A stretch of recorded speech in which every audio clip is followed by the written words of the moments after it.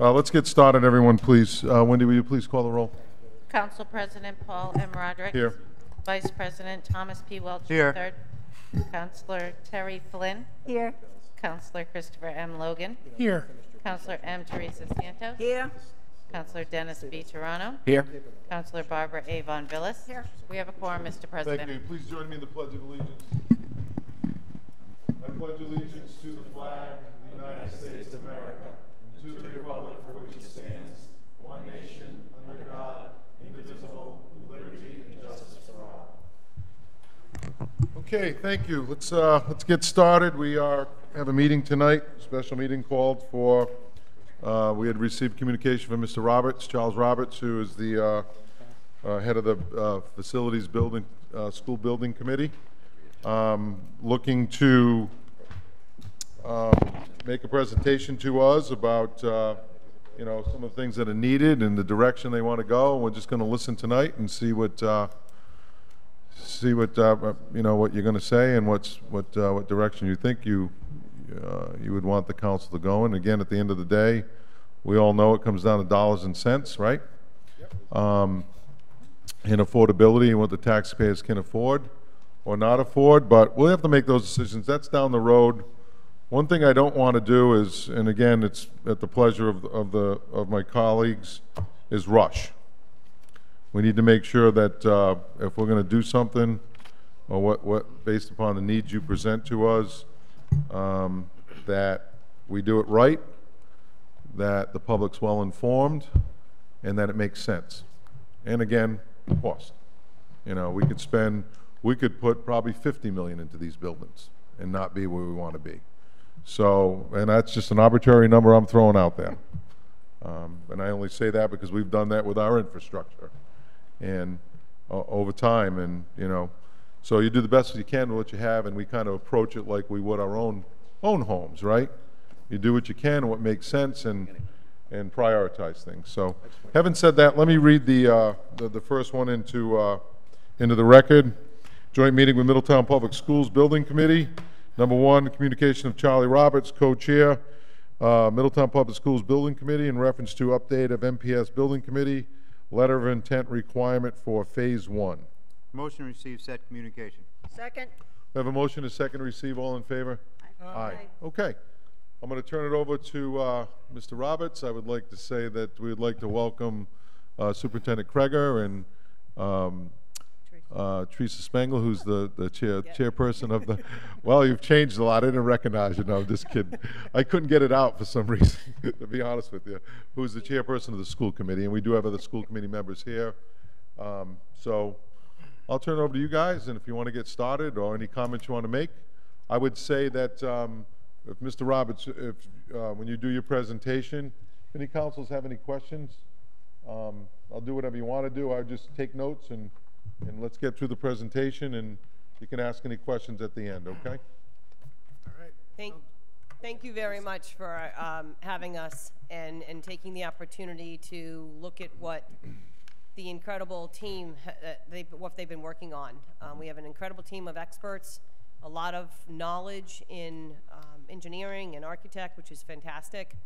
Um, and then, of course, incorporating the school professionals to be involved in this process. So I want to just thank you for the opportunity to do this and, and for your support wherever this may lead.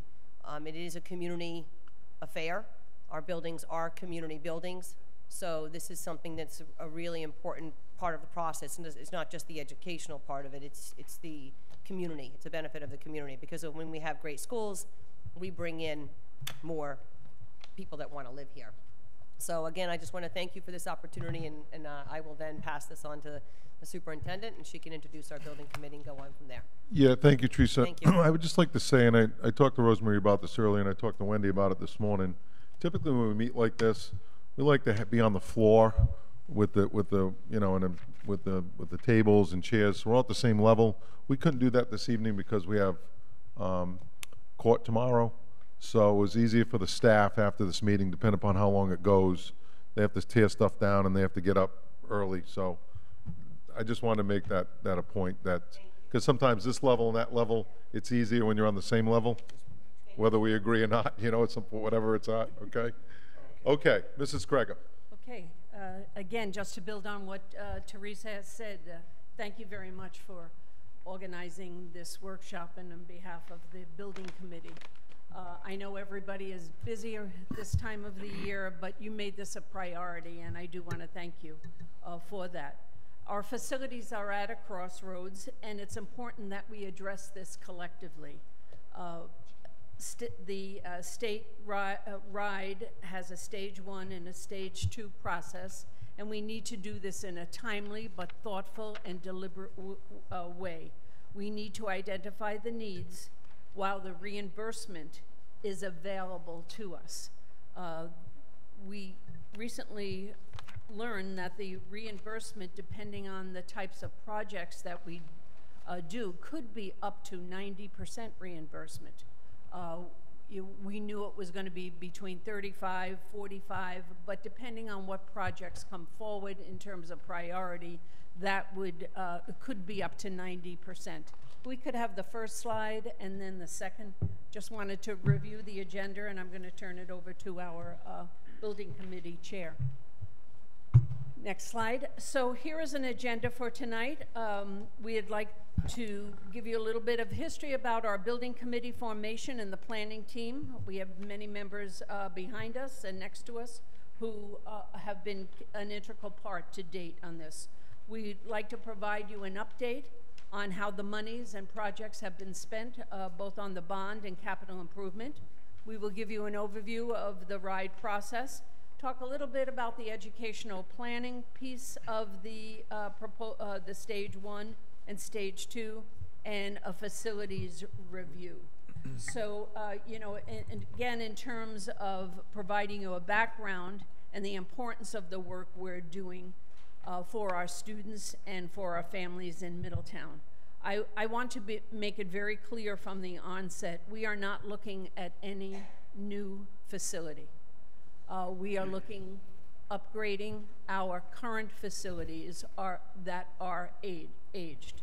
We need to address this uh, in, a, in terms of maintenance, preventative main, maintenance, and upgrade and upgrades of our old buildings, and really to provide 21st century learning spaces and opportunities for our students. Next slide. Rosemary, just, I asked not to interrupt, but of course I'm the first one that interrupts. Um, Could, is this available online? Because we can, we have a copy, so we can read it, but the audience can't see those, that small print? Sure. Okay. And I we just will- want to we make will- sure. We will put it online, yes. Okay, excellent, thank you. So the building committee formation and planning team. The school committee advertised for a building committee in January 2021.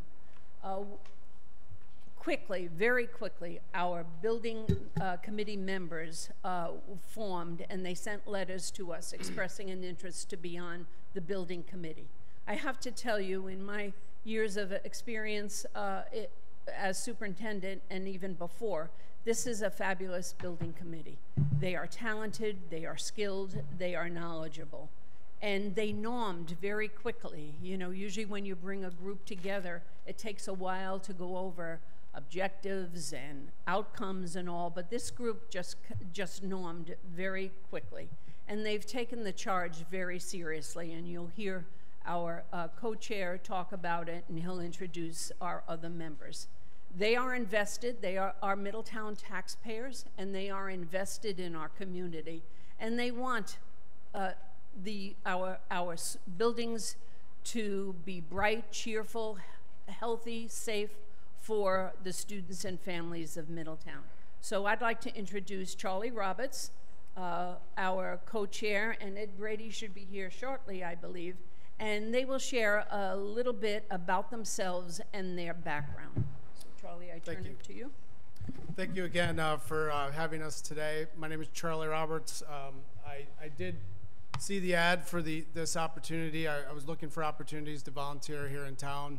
Um, I have two children that have gone through the Middletown Public Schools, and one's still in there, uh, going into sixth grade this year. So I have a lot of interest in this. Um, I'm a taxpayer, homeowner here on Elephant Lane, and, and really just uh, impressed as well with my other community members who have also joined the committee. You know, part of that RIDE set some standards for this committee.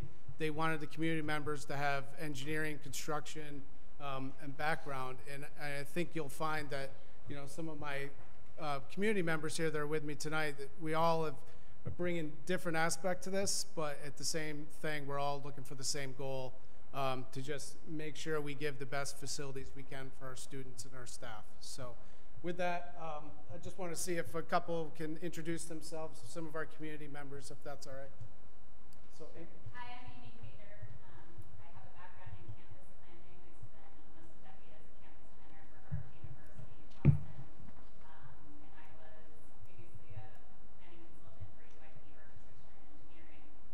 I am fairly new to Middletown, I've been here about two years, um, but I'm no stranger to the area. I was raised on Aquidneck Island, graduate of the Newport Public Schools. I have um, two children, one's entering first grade at Aquidneck school and one's a preschooler. May we have your last name again, please? Uh, Fader. Okay, thank you. Uh, Good evening, everyone. Uh, Bill Nash, I think I know many of you who sit up there uh, for for a while now, but um, proud to say that uh, I am a gra- uh, product of Middletown Schools, proud graduate, uh, as is m- uh, my family members, my brothers, uh, my wife, her brothers, who I think we all know who they are. Um, My children all graduated from Middletown High School, and I'm proud to say again, my uh, grandchildren along with uh, Tom Welch's uh, grand, grandchildren, are, are beginning school in Middletown. So I have a vested interest in uh, uh, the history of, of what's going on uh, in, in the schools. I, I've worked for the town. I think many of you know that. I, I worked in the building department for uh, 11 years. Um, I, I've, I've been a code official for the state of Rhode Island for uh, 21 years, and I now work for the International Code Council. Um, so my years of construction uh, background and knowledge of planning, um, I, hope to bring that to this committee, and I think so far we've done a, fine job with the leadership uh, that we have. So I'm glad to be here and glad to give back to my community. I'm also, uh, you may know, I'm uh, a vice chair right now of the planning board. Uh, and again, giving back to my community is important to me, and uh, again, glad to be here. Thank you. Thank you, Charlie.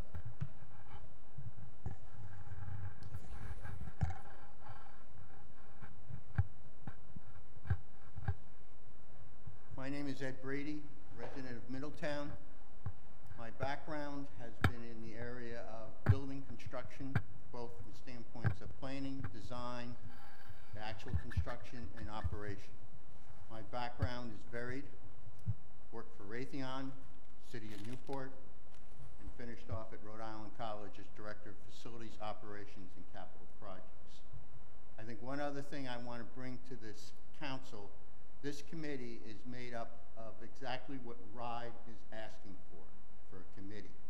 They want a solid committee with educational background, but also they, people who have volunteers have been there, they have done construction, they've lived through the nightmares and good points to it. I think that's important as we look at this committee. Thank you. Thank you. We have uh, one other uh, community member who couldn't make it, I don't think yet. Um, Just to finish up, again, I'm Charlie. Um, I, I was in the home building industry in Colorado, Massachusetts, Rhode Island for some 10-plus years, and now I've been in the solar field for the last 15. So it's, uh, I thi- I think as you saw there, there's a really diverse uh, collection of community members here with, with this committee, so. With that, um, you know, we're at the beginning of this process right now. Um, what we have asked for with this workshop and then um, for the agenda at the next town council meeting is just to sign on to a letter of intent. So that's the first first phase of this, phase one of this application process. The hard part comes next, which is phase two, which is a lot of the work is, is going to happen. So we, we again thank you for your time. Um, I know we're all busy, so thank you again for, for having us. Thank you. Uh, Could we have the next slide? This really shows our planning team and partners. Uh, You just heard from our building committee. Uh, Next, uh, we'd like to introduce, so we'll need that microphone again, uh, Colliers. Uh, They are project managers, owners, project managers, OPMs. RIDE requires that we have OPMs now for any projects throughout the state. What an OPM does is they provide uh, really assistance to the school department uh, for the work on, and work with the school department and building committee to make sure that the work we're doing is quality work, that the people we engage as educate, educational planners and uh, a design team are on task, are qualified. They help with the, bu- uh, the building, the building part of it, additions or renovations, whatever it might be. They help deliver, uh, the, make sure that the project is on time and on budget. Uh, we selected Colliers because they have a, an excellent reputation in the state. Uh, when, we, when we interviewed them, we knew that they were project managers for a number of school districts where things came in on time, within budget, and quality work. So I'm going to introduce uh, the two project leaders, uh, Derek and Holly. Do you want to introduce yourselves? Hang on one sec, he's gonna get you the mic. Holly Demers Sawyer, I'm the Associate Director in the Rhode Island office. Uh, As Superintendent mentioned, uh, our goal is to make sure Middletown is successful. Uh, Our, the, our charge is to have the best interest of the town and, and the school department as we move these, through these projects. Thank you so much, Holly. And again, my name's Derek Osterman. I am the Director of Project Management Services for Colliers Project Leaders. Essentially, that means I lead all of our teams throughout the state of Rhode Island, and, and we're very pleased to have the opportunity to lead Middletown through this process. I, I know great things are ahead in terms of the, the capital plan that you'll be putting forward. So thank you so much. The next uh, member and part of the team is an educational planner. And in April, we, we, uh, we went out for an RFP for a special project uh, representative who would do work uh, and had vision and experience, not only in this country, but internationally, for innovation and 21st century teaching and learning. Uh, Frank Locker is the educational planner. Uh, he could not make it tonight, but again, uh, a reputation that is known throughout this state and the country and internationally. Frank also has worked with Colliers and many building committees. He's the one that does the visioning uh, sessions for us with our citizens as to where do you see our schools, you know, in 10 years, in 15 years, in 20 years. And we'll, I'll give you a little more detail on that later on. The next key partner in our planning is an architect. And uh, the building, again, we went out for an RFP, and the building committee really managed this work and interviewing. We interviewed, what, three or four? Seven. Seven. Oh, we interviewed three, had seven proposals. Okay, we had seven proposals. The building committee interviewed three um, architects and uh, recommended to the school committee DBVW architects. And again, they have a great deal of experience within the uh, state. Uh, know stage one, know stage two, know the insides and outsides of what schools uh, should be and what they are. I know we gave you a- an 11-page document that uh, Doug will go through later on, but they left no stone unturned when they uh, went through our schools. Uh, They were in all the nooks and crannies and tunnels and whatever uh, in our schools. Uh, The Jacobs report uh, was, is several years old. They did a very um, cursory uh, study of our schools. There were a lot of inaccuracies in that, but we needed to do the Jacobs report to get the dollars for, for the funding, not us, for the state. Um, This is not the case with um, this particular architects. As I said, they, they went through every nook and cranny of our schools. So uh, Doug and Ed, do you want to just introduce yourself? Sure, thank you, Rosemary. Uh, Good evening. Um, My name is Doug Brown, Senior Principal of DBVW Architects. Um, A little bit about our firm. Uh, We're a 30-person firm based in Rhode Island, been around for about 30 years now. Uh, We have a, number of areas of focus, but an important one is K-12 educational projects. Um, in addition, uh, another specialty of ours is uh, adaptive reuse uh, of buildings. And, and I'm mentioning that because we uh, spend a lot of time in our practice um, uh, evaluating older buildings, recognizing what is valuable, uh, to, and, and coming up with strategies to modernize them, uh, recognizing that there's a lot of value sitting there, and as opposed to proposing to construct something new, it's usually a better alternative. Uh, so we really focus on that. When we uh, interviewed for this, uh, this project, which we're very happy to be working on, we uh, used a, a, project that's actually just uh, almost finishing construction in Smithfield, Rhode Island, that we uh, um, completed.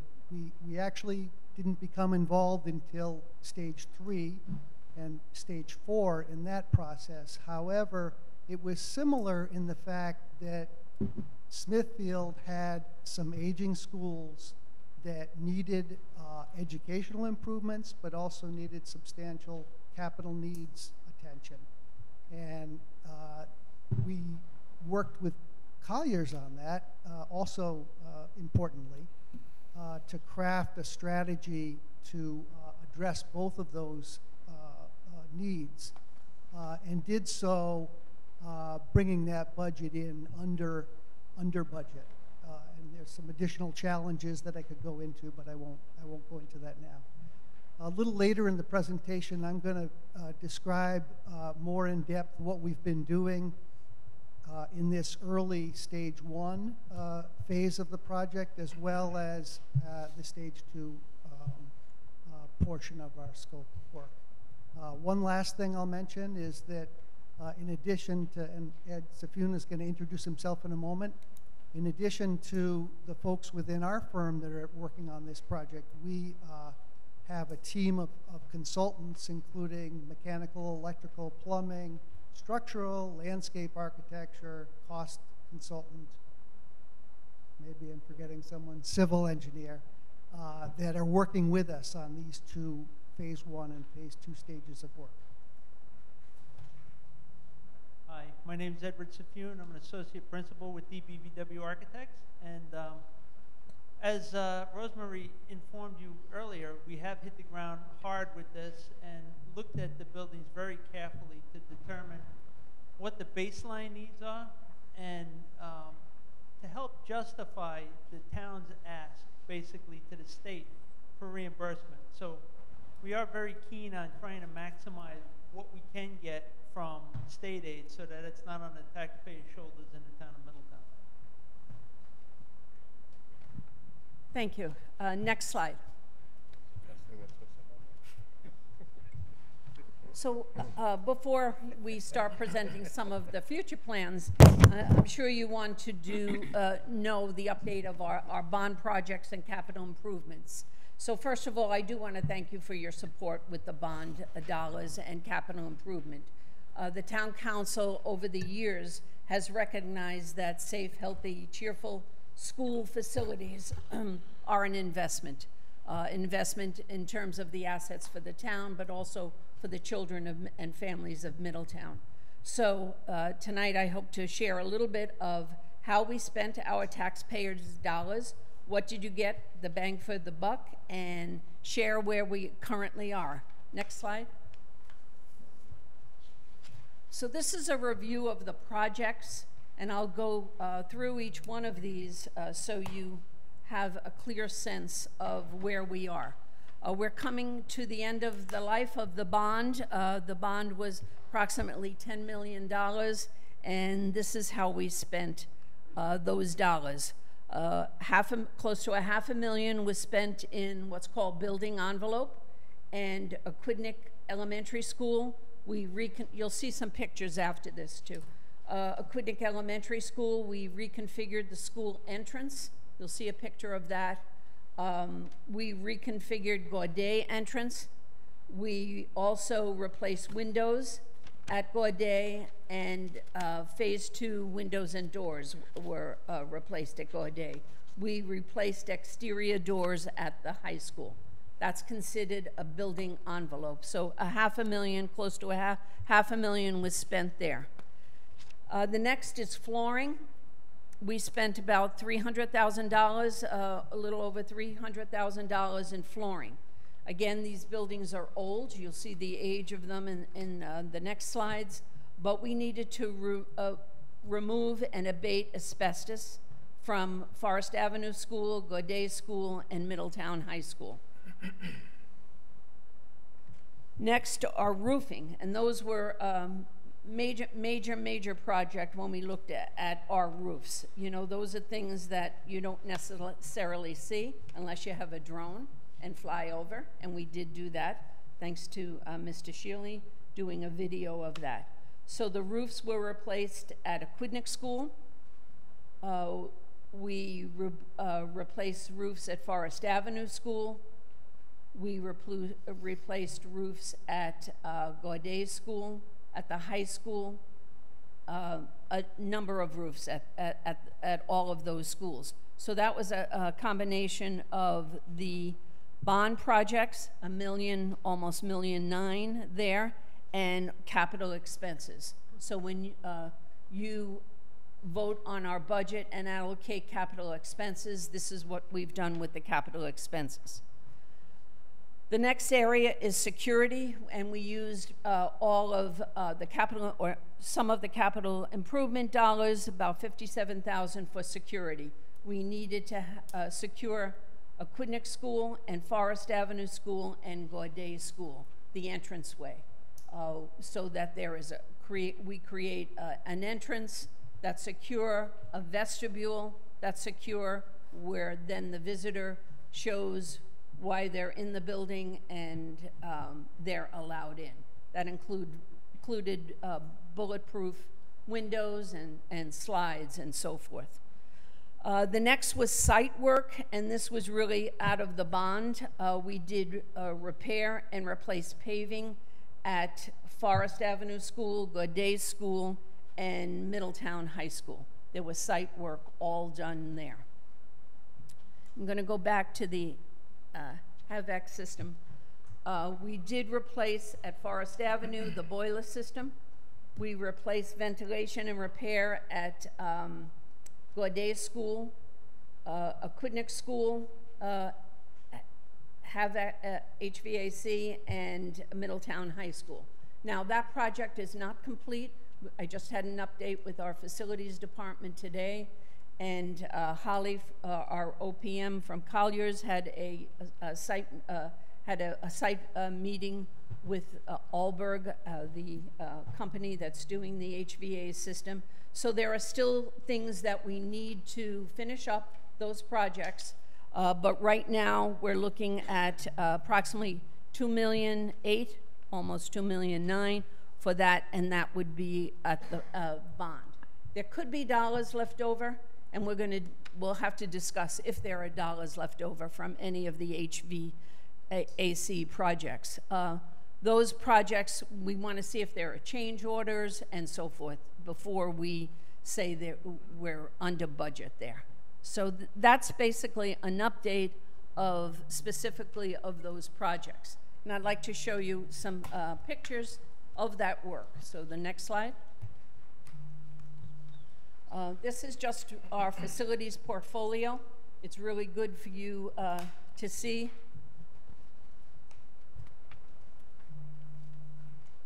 You talk about the age of our buildings. So Aquidneck School is 67 years old. Uh, Gaudet School, 53 years old. Forest Avenue, 64 years old. And Middletown High School, 61 years old. Where did the time go? for some of those buildings. So the average age of our uh, facilities is 61 years. When you walk through our buildings, you see nice shiny floors. The buildings are clean. But when you, you go underground and in nooks and crannies and in boiler systems, we really need to upgrade these old buildings and systems. So, uh, next slide, please. This is Aquidneck School. Uh, the lower uh, portion, uh, lower picture there shows you the entranceway that was done through the bond. We needed a new handicapped accessible entranceway. And again, you know, the, the security, the next slide will show you the security entrance. Next slide. Uh, the upper picture is that um, secure system.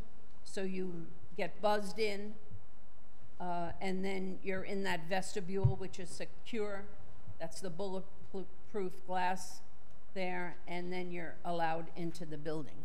The lower picture is the HVA system that was done in the uh, east-west wing. That's the oldest part of the building. It's our kindergarten wing.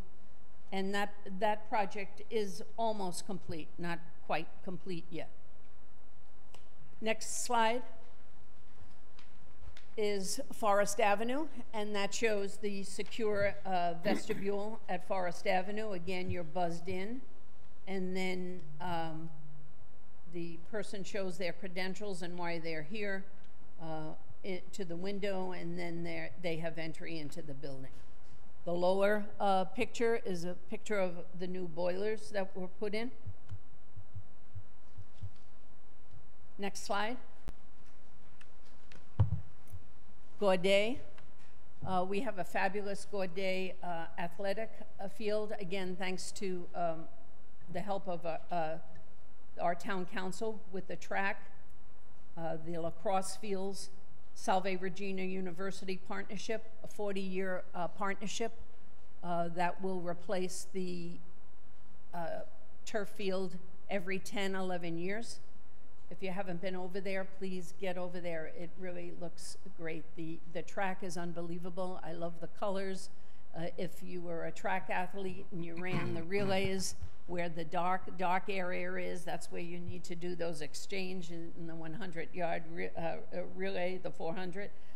Um, it, it's just a, a, a fabulous, uh, fabulous, uh, um, fabulous complex. The tennis courts look pretty yeah, good and as the well. tennis court, yeah. I'm getting to that, the tennis and the basketball courts, it's wow. It's wow when you go there. I have a, a son-in-law who happens to be uh, his part-time job, a football coach in uh, Milton, Mass, the head football, and he loves coming down and taking a look at our facility and, and what they do. Uh, the roofs you see at Gaudet. Next slide. Little bit more of Gaudet. We did that bump out. Um, we were trying to see how we could do that secure uh, entranceway. There was just no way to do that because you, you walked in and you went upstairs, you went downstairs, and there was no way. And then we thought about a bump out uh, for the, the uh, entranceway. And we've made that a, a, a great uh, little area that is secure. Again, that has the bullet proof uh, glass and the secure vestibule. Next is our high school. Next slide. You look at the um, secure entranceway there, and again, the roofs. Next slide. Yep. And the roofs there. So that's an overview of our bond projects and how we spent those dollars. Uh, again, they were well spent. We monitored the projects closely. When we had the HVA system uh, kick in this last year, we uh, partnered with Colliers to make sure that that project was going well. And again, the, the role that the OPM does uh, you know, keeping us uh, within budget and on time. So uh, I'd like to uh, segue into the overview of the RIDE process, the section three of our agenda tonight. And I'm going to ask Holly or Derek to come up, or both, and maybe you can.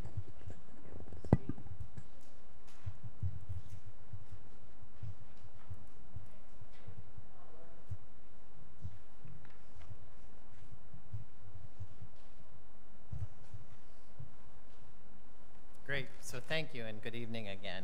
Um, so this first slide here talks about something that's often on everybody's mind, and, and that really is the dollars and cents of going through the, the RIDE process. So um, it is very fortuitous uh, in terms of the timing because of the general obligation bond. There are bonus points available to you in Middletown.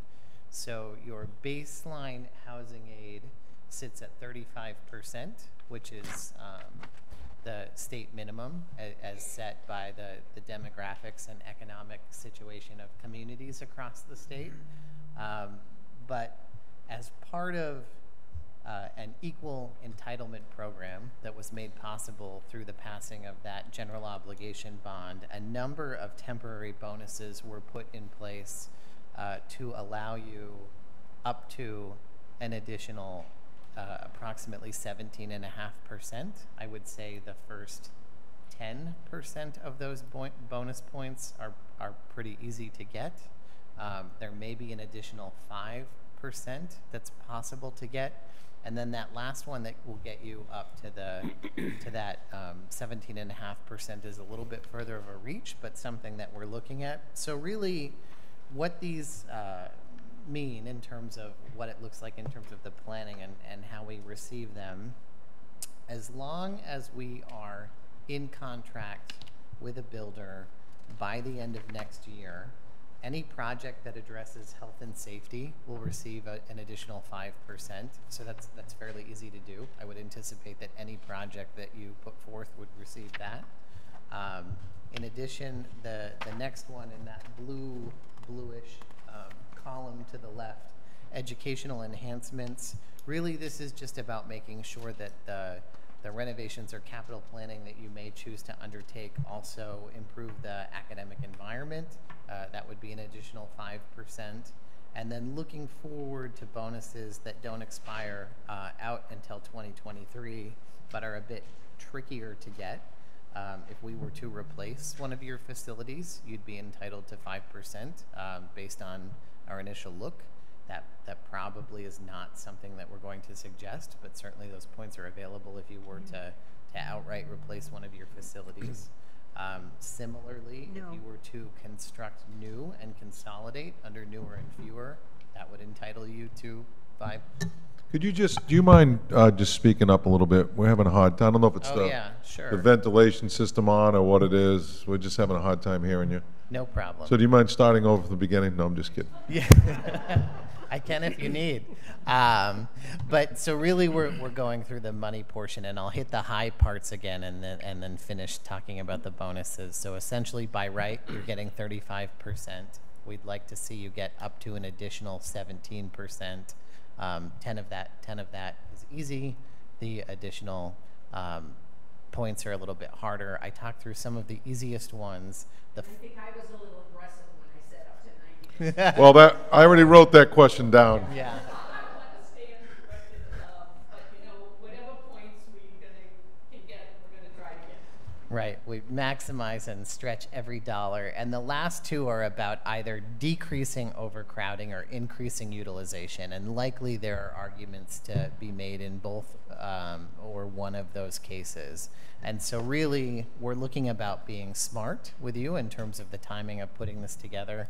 So, we get the health and safety bonus, we get the educational enhancements bonus, and we get um, either the decrease overcrowding or increase utilization. That would be our, our stretch goal, if you will, but, um, but really trying to get an additional 15%, um, which would put you up at uh, a 50% contribution by the state. Um, so really exciting and, and a wonderful time to, to be embarking on this program. Uh, slide.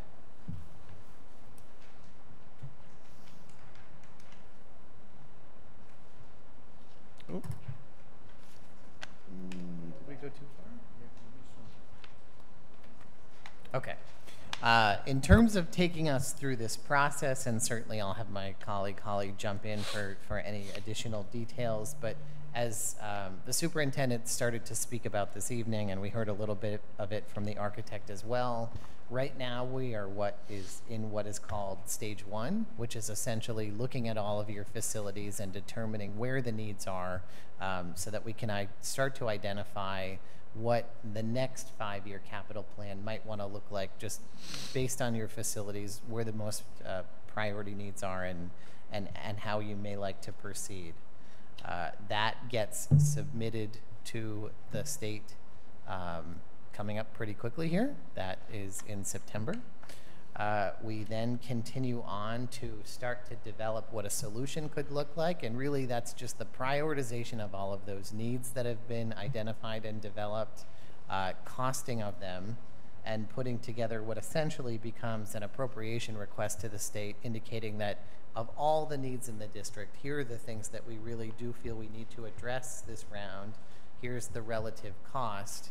Um, and we'd like you, the Department of Education, through the School Building Authority, to contribute our housing aid dollars to the plan.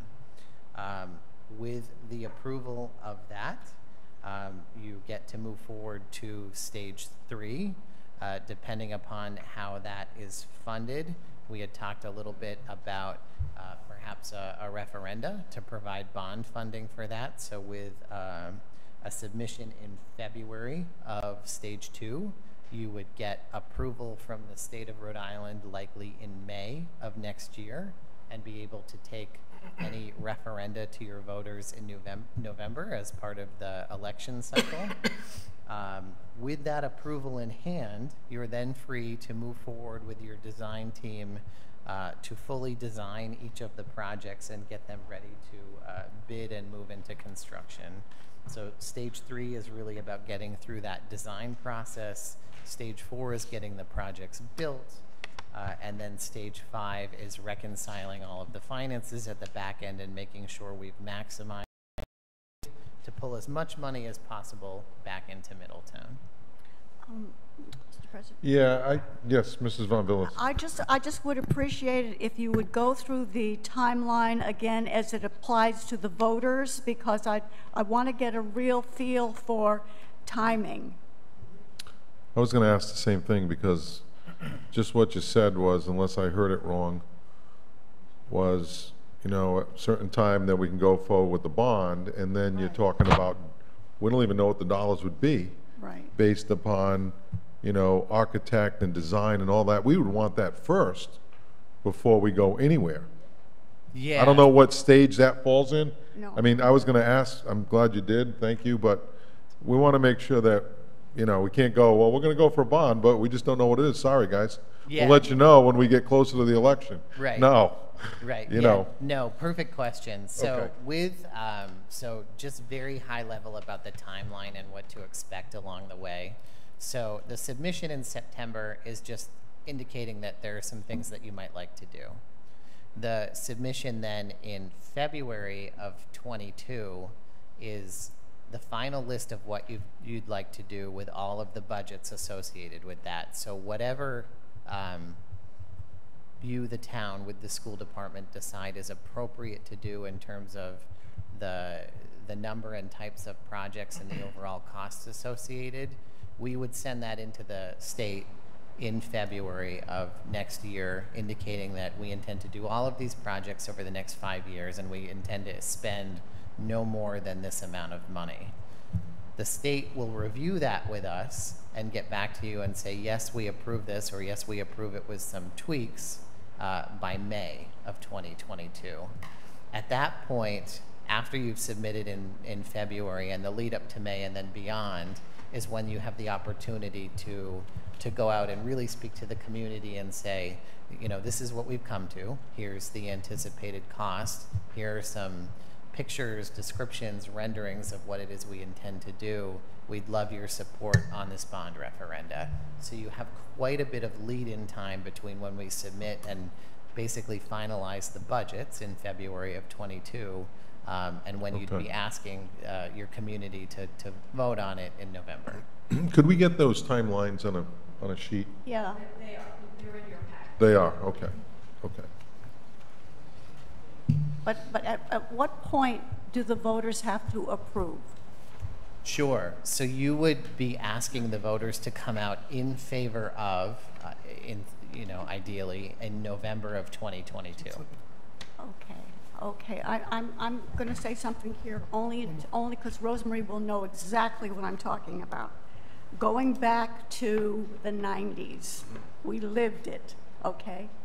Um, and I'm, the reason I talk about this is because it's a cautionary tale. It has nothing to do with the proposal that you have, it's just a cautionary tale. In the 90s, the school department went out for a huge bond, 17 something million dollars, okay? Um, there was an issue and it, the vote was um, nulled, for lack of a better way to describe it. Um, shortly thereafter, another six months, and I'm, I'm a little loose on the timeline, okay? And I'm a little loose on the numbers, but you will know what I'm talking about. I know, because we lived it.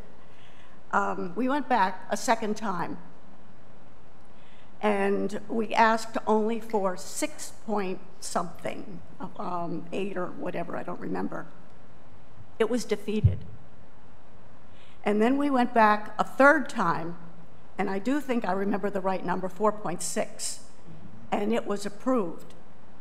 What I am concerned about, and I think you need to be very concerned about, and that's why I asked about the timeline. If you're talking about November of next, next year, as a school person, we tend to believe that the entire community supports what we're doing and they will be favorable for it. Realistically, that is not the case. I'm sorry. As a school person, I can say that. Realistically, Rosemary, you know this, it's not the case.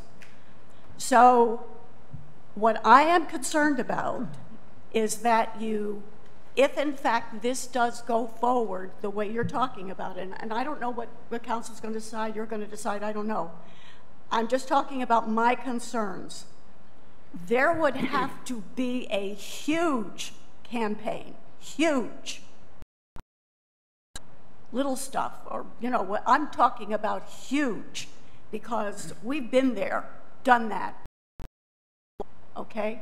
So please just keep that in mind, those of you on the committee, that if in fact you end up going forward with that, that you do do it right, because you don't want to go forward and lose it.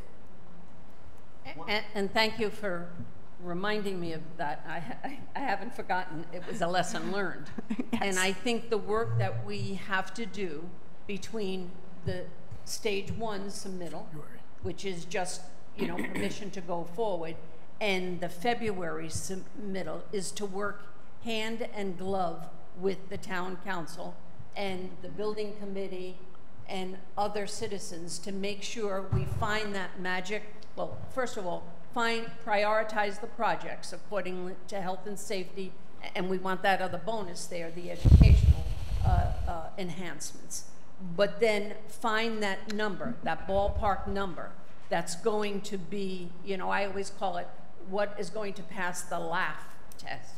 You know, what is that, what is that sweet number that is going to be palatable for our, um, our community for a bond? And, and, and I hearken back to those, those days. So thank you. Palatable is, is, is, um, is a good word. Uh, it's an appropriate word. Palatable for the majority of the community. That's what you need. Right, right. I- But I, I- I think it's, go on, I'm sorry. I, I've lived your sen- sentiment here exactly, and I think this is one of the reasons why Rhode Island Department come up with this procedure that we're presenting to you tonight, so that when you do come to the point where you're going before the voters, you're going before the voters with, this is what we need. And this is, you know, a, a document, you're gonna see a schematic to where you're gonna know what you're going to be getting for the money. And I think the other thing we're gonna have to be looking at is, what's our options if we don't? I think one of the things we have to look at is how old our schools are and how much work they do need. And it's a reality. It's not a wish or a hope. It's, it's a fact. And if we don't have an opportunity like we have right now to maximize our reimbursement from the state, we're going to be funding this out of our pockets directly. And I think that's the thing what we need to do as we prepare these documents to get to the voters and understand this is what our options are. And I understand what you're saying. I remember. I lived through it. It's the, it's the voters. You just actually put your finger on it. It is, it is not just everybody going together. That, that when you finally get what you, what you think is right and you identify a number, that's not the end of it. Nope. That's really almost only halfway there.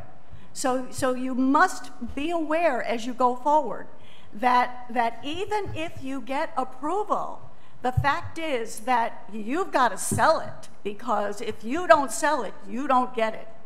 Exactly. Okay, that's it. And I think Ed makes a great point. You know, these are aging, aging uh, buildings, and are we going to keep funding them through a capital improvement plan without any real reimbursement? Or go and sell the idea that a bond is the best way to do this because of the possible reimbursement? Sell it. Uh, Okay. Mr. Let's, President, con- let's continue on. Yes, ma'am. may I make a clarification on the conversation? Sure. So Charlie, you said the goal was to provide a letter of intent to, to RIDE, I assume, and that's, is that what's due in September? Is that September stage one? 15th. Yep, that letter, um, and we, I think we've shared an example of that letter. Yeah. um, this week, and that's got to be signed by the superintendent of schools, the chairperson of the school committee, and the town representative, in this case, is the town council. Okay. So we've, we've asked to be on your agenda uh, on September 7th to vote on that. And the, the vote, the referendum would be in November of 2022. And do I understand that to get one of those 5%, we would have to have a builder on contract by December 31st of 2022? I'll, I'll let Collier answer that one.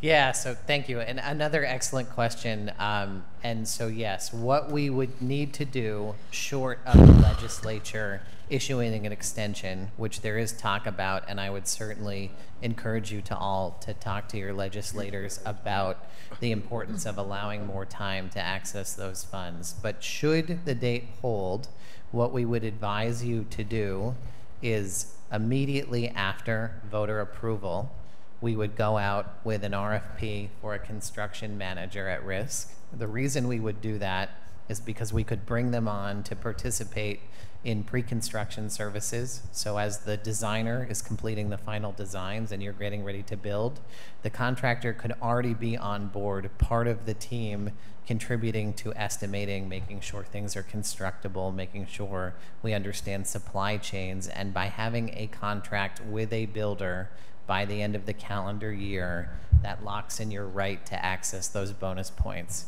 So admittedly, we'd be speeding up the timeline in which you would normally bring a builder to the table, um, but it is achievable. And when we're talking about between 10 and 17 and a half percentage points, it's something we, you know, we definitely want you to consider. Um, but again, as, as we continue further down this journey, those conversations with your representatives in the State House um, could be very important. And I think you're one of a number of communities who will really benefit from additional time to access those bonuses. I have a quick question on that. Um, If we keep asking questions, fine, Yeah, but it it started with one, and we're now we're going to go to three or four. We want to finish the presentation, but go ahead. My other question Because is- it's going to lead to more questions. I can save it then. Okay. I can save it.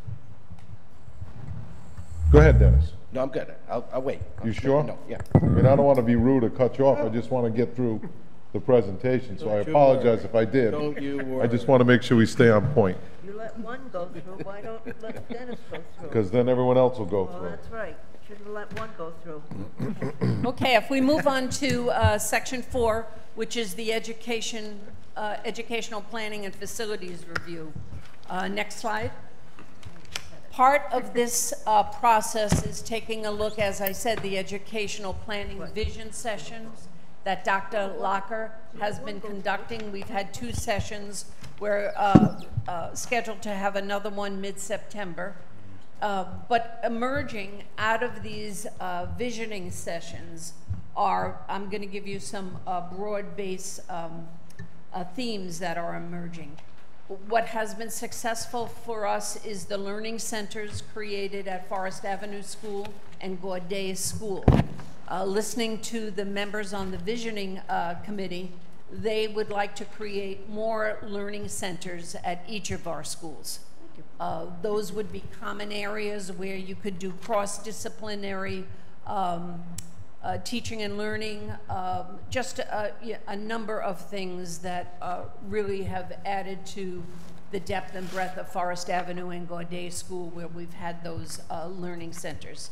The other piece that is emerging is uh, state-of-the-art or really major upgrades to science labs at the middle school and the high school. As we um, look at the science labs, there have been no updates. There are two science labs at our high school that are up to date. The other piece is bumping out somewhere uh, to expand our career tech pathways. We have uh, computer science and a robotics we have a third one that we're, this is our second, uh, second year of biomedical uh, pathway. And there's some good news in the wings about a potential grant uh, that we should hear in the next week of a half a million dollars to help infuse some dollars into, into that pathway. But really maybe to bump out uh, and connect it with the, um, the uh, greenhouse there or whatever, but to expand that. So that's what's emerging. When you look at our high school library, it's probably the same that when you went to school, you went to school here, Tom, or Paul did, I know. The same. That's 40 years ago. I know. It's unbelievable. I know. It's incredible, but it, the library probably looks the same. It does. You know, I when saw it the other night. Yeah, and when I go to open house or orientations and I, and I hear the parents walking the halls, they say, there's a sense of nostalgia and it's great. Oh, this is just like when I left it. So that's kind of a good thing. They have that warm feeling, but it's not so good for 21st century learning. So it kind of, you know, I, I get a little hair on my neck goes up a little bit. Uh, the other piece is the planetarium. Um, a- small performance area, that's, that's a theme emerging. Uh, you, we had thought a, a, an auditorium might be out there, but we are forging a partnership with Ocean Point, um, the former, uh, this is totally Rhode Island, the a former um, athletic club. Uh, and they have uh, 650 auditorium. We're having our opening day with our teachers there. there. We're splitting the staff, you know, for COVID safety. But that, you know, that's like a Salve partnership that we have, that we wouldn't have to spend dollars for that, uh, for, for that auditorium.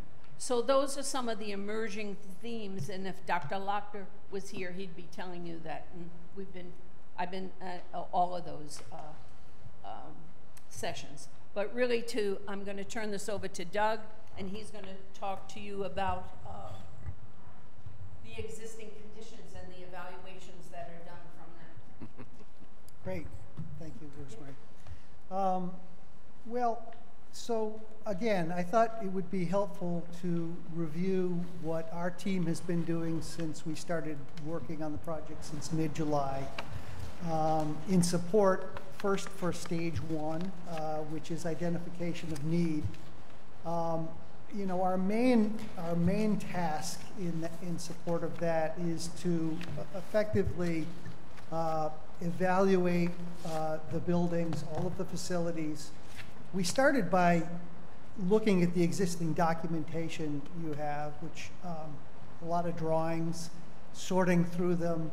You, you know, in order to, to really understand a building, you have to look at the, the way it was constructed originally, improvements that have been made over the years, evaluate the Jacobs report and, and your own capital needs plan, uh, to make sure we understand, uh, uh, sort of as a starting point, uh, what we're dealing with.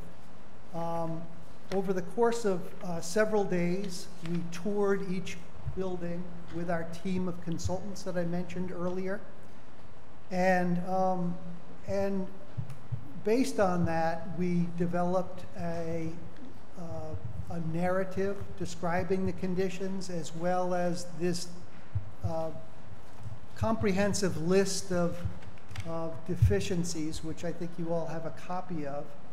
Um, it's, it's important to make a few points here. Uh, One is that, that this work, it really is, follows, um, you know, the good work that the town has done previously in addressing capital needs as they become apparent, you know, as evidenced by the scope of work that Rosemary just reviewed in the 2016 bond, that sort of work. Our objective is a more comprehensive look at these, at these schools.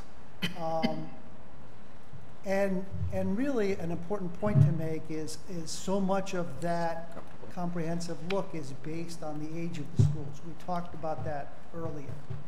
Um, uh, and the fact that so much of the infrastructure um, uh, is, for, for example, piping, underground work, so forth, has never been replaced. And everything has a useful life. And so, in, in thinking about a, a, a sensible strategy to move forward to address those capital needs, it, it makes sense to understand Uh, the, the useful life of all of these components.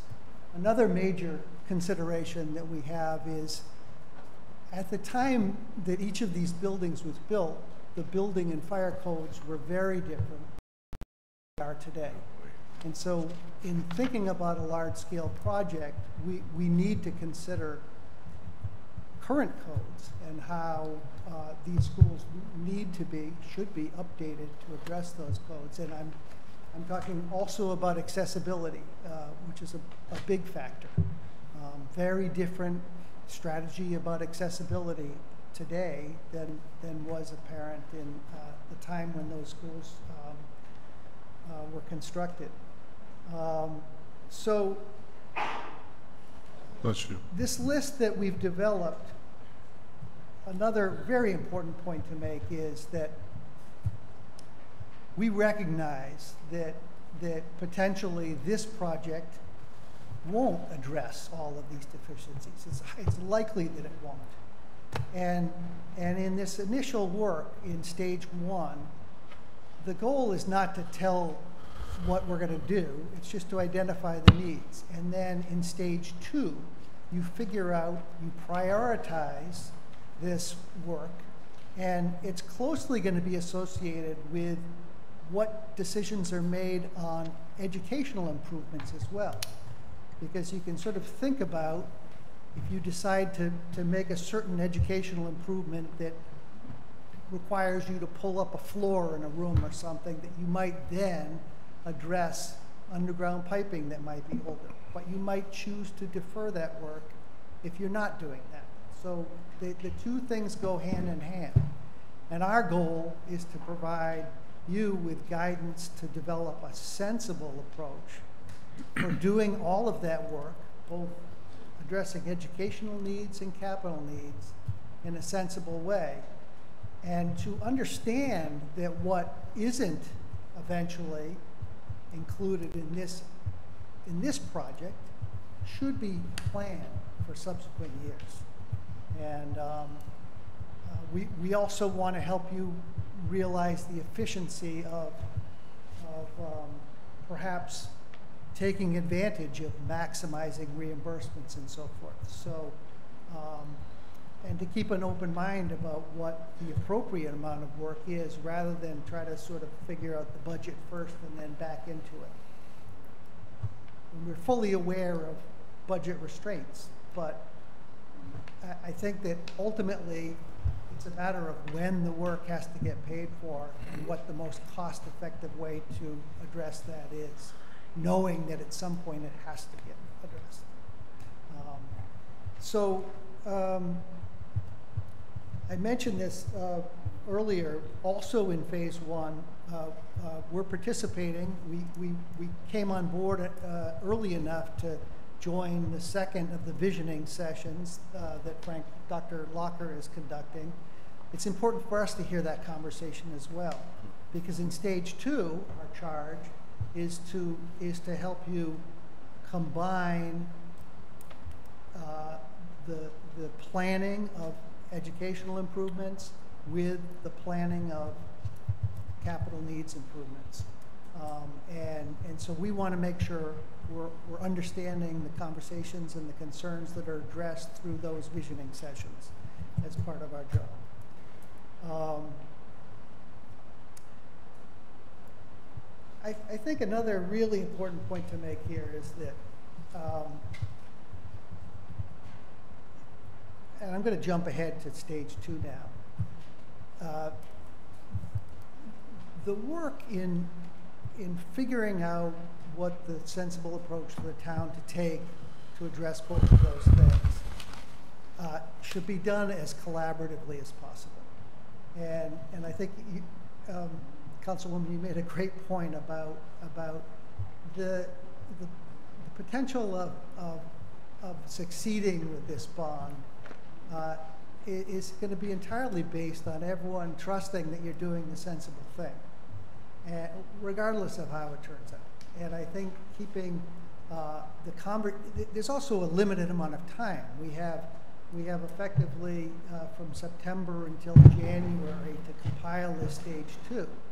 During that period of time, there will be a lot of options and a lot of combinations of educational improvements and capital needs that could be considered.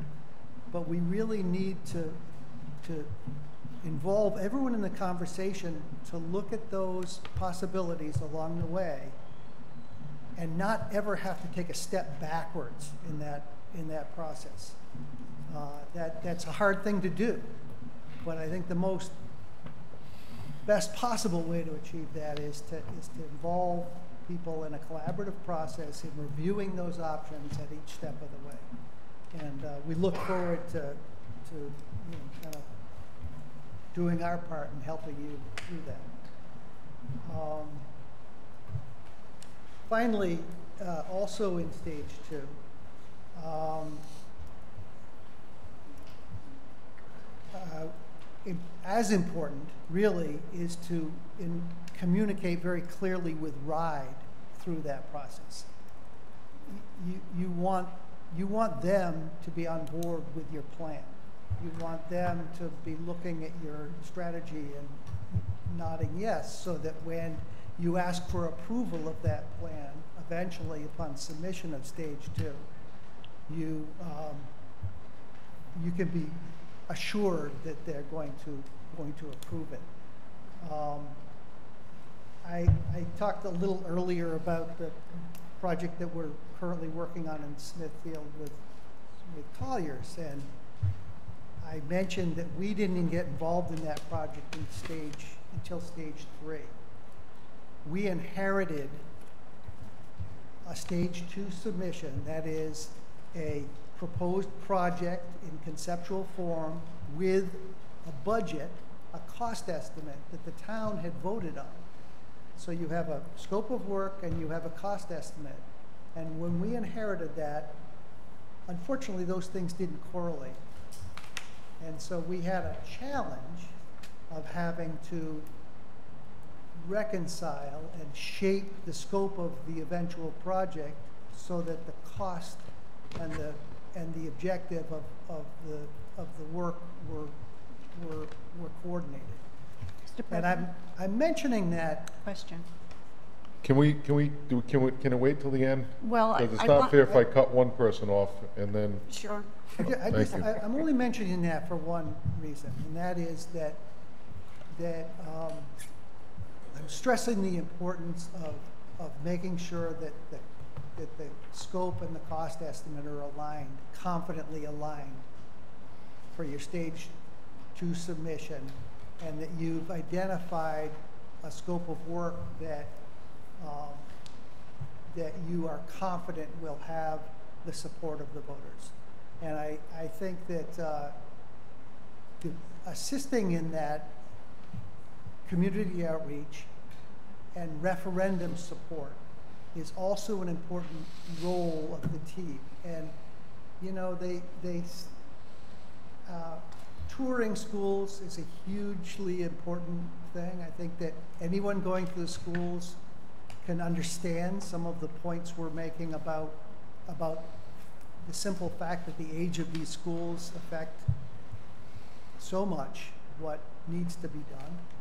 Uh, And secondly, uh, I'm, I'm going to stress the importance of, of really good um, uh, three-dimensional graphic rep- representation of what you intend to, to do. You know, uh, you can, modernizing a school doesn't, that's not oftentimes the expensive part. The educational improvements that everyone will get excited about sometimes is, is, a, is a smaller portion of the cost of the project than addressing the less, you know, exciting capital needs issues. But it's important for people to get excited about what they finally may see. And so, um, uh, uh, not just the physical changes that might be incorporating common learning spaces, library upgrades, science lab upgrades, that sort of thing, but just finishes and furnishings. That, that goes a huge way um, uh, to getting, getting the community excited about, about uh, investing in, in the schools. Um, so I've kind of gone on a little bit, I'm sure. You have a few questions. You are. Yeah, Sorry. That's okay. I'm, I'm good. Thank you. Okay. Is that it? That, that is, you know, I certainly have a closing, but, uh, I would like to entertain any questions now. We have Okay. a team here, you know, I do wanna stress that this is, the sta- the stage one is the beginning process. We have a wonderful group of volunteers, our building committee here, and. this is the Rosemary. Nate's giving me the signal back there to you- for you to use the mic. Sure. Thank you. Um, You know, I, Thank you, I do want to stress that uh, stage one is the beginning process, and uh, we have a great group of volunteers and talented, skilled volunteers who are part of the building committee, plus uh, the, you know, our educational planner, our architect, and OPM as we go forward. Okay. Councilor Turano. Thank you. I was just going back, you had mentioned the state representatives and, and working with the state. How involved have they been with this group locally during your process of pulling this together? I know you've been working on this for weeks and weeks and weeks, and has our state representatives been involved in those meetings? Uh, no. No, we would, we would go to them to ask to do the extension, but typically our state representatives do not get involved in a visioning or, uh, Okay, because it sounded like we were already pretty confident we're going to need to file for an extension, is kind of what I heard through that back and forth a little bit, that, you know, we'll have to I, I rush and think hire. Derek, our OPM, suggested that we do that. I think Right. we have a good relationship with our, um, our local reps, that they would support something like this. I believe, uh, from what I've heard, there's 10 or 12 other communities positioned to go forward with the stage one uh, in a few weeks, and eh, eh, all of those communities would like an extension. So Right, and it sounds like, it- collectively, that, that's a good voice. right, and then it sounded like, hey, we're then, you know, get to another point in this where we're going to have to hire a contractor quick, get, you know, so that it, we have something in place so we can qualify for some more points. So, as you were saying, if we get ahead of the curve, and I'm just thinking if we've got our state representatives aware that this is going to need to happen, the state's making this up as we go along, the rules. Fair to say, in regards to the funding and what you get for what you do. So. I don't know that they're making it up. I don't, Der- Derek, do you? No, I mean, it's in place. They could change it. I mean, they could say, "Hey, you can have an extension or things requalify because we've been seeing funding coming down from the state in a lot of different ways. And I'll, I'll say it, unification, there was a big to-do on monies there too, okay? So this is another program I'm seeing that I'm, I appreciate more from what I'm hearing. Uh, so I'm just saying, you know, I appreciate that, but just getting our state representatives involved, it'd be great to know that they're in, you know, a step with us. And so if we do need to bring it back to the state and get something approved, they're all up to speed on it. That's all I'm asking. Yeah, I, I think those are great points. And the only thing I would add as, as sort of additional information and perhaps clarification is as the plan is finalized in terms of what Middletown would like to do, and we look at the size of the ask, We'll obviously be also working with the town administration, likely the financial advisor and council. At that point, you know, once we've established things in February, we're going to need to um, put forth enabling legislation anyhow, and that starts to be um, perhaps even better timing to, to speak to your legislators and say, okay, so here's the enabling legislation to put the bond referenda together. oh, and by the way, we could do so much better in Middletown, as well as many of our peers across the state, if we talk to the general treasurer's office, who, who really uh, was a, a key player in, in putting all of this together and saying, it may be prudent to give us a little bit of extra time so that we bring on the contractor when it's right for the project as opposed to when it's right to make sure that we're not missing a funding opportunity. So I, I think there's a, it's absolutely important to bring them along, um, but we may have some time because I'd like to be able to, to have you be able to explain to them what the ask is and what the enabling legislation wants to look like, if, if that makes sense. It does, thank you. I just got one more, and then I'll kick it back. The, um, I liked what I heard in regards to, you've got your capital improvements, but you've got your educational improvements, and how, you know, those two have to go hand in hand with each other. I think that's so important. And then that's prioritizing the projects of which ones are we're gonna do first, and which ones should be done first, right? And this is a five-year program. You know, we did a $10 million bond, and we still haven't finished all the projects in four years. So I'm sure there'll be something that talks about, you know, reality of how many projects we can actually really get done in five years. So we're not asking for some big ass that we're not going to get it done in five years, which if they give us 10 years, maybe that would be a little different story. But what I'd like to know after this too from this committee, what is the school system going to look like at the end of this? And what do we anticipate the next five years or 10 years after that? What's that going to look like? So that would just be like something I'd like to see. Yeah, I, I love it. That's great. And admittedly, I probably can't answer that tonight, but what I can say, and I your architect alluded to it, is they've come up with this great list. Admittedly, it's probably not all feasible to fund or complete within five years. But if you take it as a list and you prioritize and you say in the next five years, it is achievable to do this and we think we can finance that, and then the next set of priorities right behind it become the 10-year plan and the 15, I, I think the, the idea is to put together a roadmap, and it looks like Doug wants to jump in, about what exactly that will look like. So I, th I think it's coming. Thank you. I'll just add to that, um, as part of the stage two submission, uh, you're, re- you're required to really think about that, at least to think about the work that you're proposing that project and how it's phased. And of course, that is determined by, you know, phy- physically what work can get done when. You're always trying to package it in the most efficient way you can. Um, uh, and so much of that work would get done over summers. Um, uh, and, and you could work on, on, on, you know, multiple schools within the same summer. But, but ultimately, that phasing plan is an important part of, of the submission. And, uh, and it starts to answer the question you're, you know, you're asking. Great, thank you. So, thanks, uh, thank you, Dennis. So Derek, as I'm sitting here listening to this, and if, and Rosemary, and you're accurate, if you're accurate with your statement and saying there's 10 or 12 other um, municipalities in the state looking for the same extension, wouldn't the light bulb go off and RIDE and go, "Uh, maybe we're going about this the wrong way?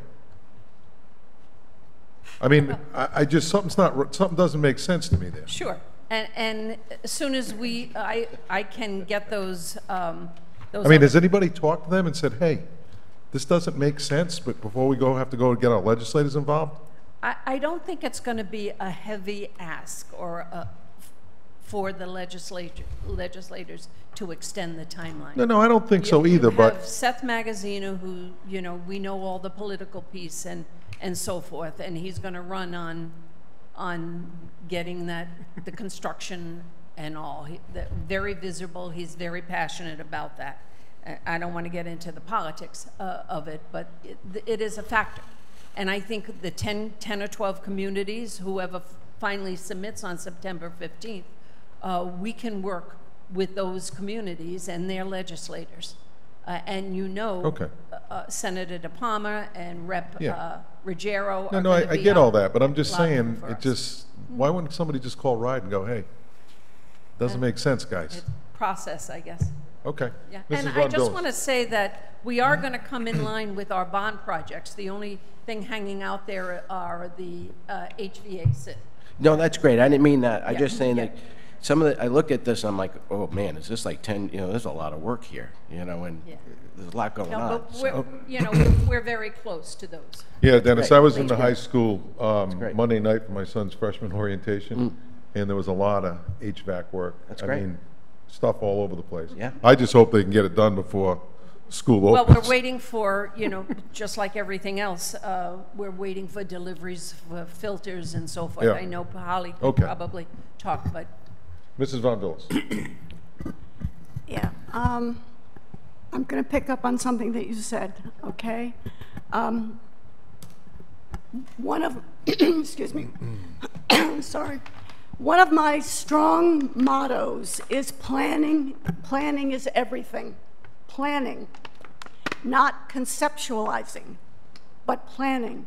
And what you said was, with the previous project, that you came in conceptualization was already done, and you were, you were then stuck with going forward, okay? I'm looking at the necessity of school construction, all right? Um, and I'm looking at stage one, stage two, stage three. And if I understand what you said, it sounds like stage two was fine, but you came in at stage three, okay? I will tell you, as I don't know how to say this any stronger. Planning is everything. Conceptualizing is nothing. You will not sell a concept. You will sell a plan. So I wouldn't care how hard you had to work between now and, what is it, um, February, what you need the, the stage two? I don't care how hard you have to work between now and then. It is extremely important that you are able to, to develop concrete plans so that you can say, this is what we're going to do. Because you won't sell anything other than that to the public. You won't. agree. Yeah, I, I couldn't agree more. I, I think that's exactly what our objective is. It's, I, I was simply making the point that in the, in the other example I gave you, um, uh, that plan was another, another team's plan. Yeah. And we inherited that. And so that's a more difficult process uh, than ideally you would be working with the same team through the whole project. Yes, and you had two, two different ideas going at the same time. You can't have that. You can't. Yeah. See, I'm, I'm concerned, politics is really about the public, okay? It's about 15,000 people or 7,000 voters or however many you've got, okay? The, the fact is that it's not gonna, it's not gonna fly if you only look at selling it to the people who understand it. You've got to sell it to the voters, and the only way you're gonna sell it to the voters is with concrete detail, a concrete plan. I, I don't know what she has in that vitamin water over there, but I'm gonna have some of that. I just want to say, and, and this is where the, um, uh, the visioning committee has come in, and that's where this process started after the building committee was developed. This visioning group is made up of numerous different uh, perspectives from the community. They, they're not all people that have children in the school system, which was really nice when different people came to the meetings because there are some educators in there, there are community members, there are um, architects, engineers. So it, it's a wide variety, which has been fantastic.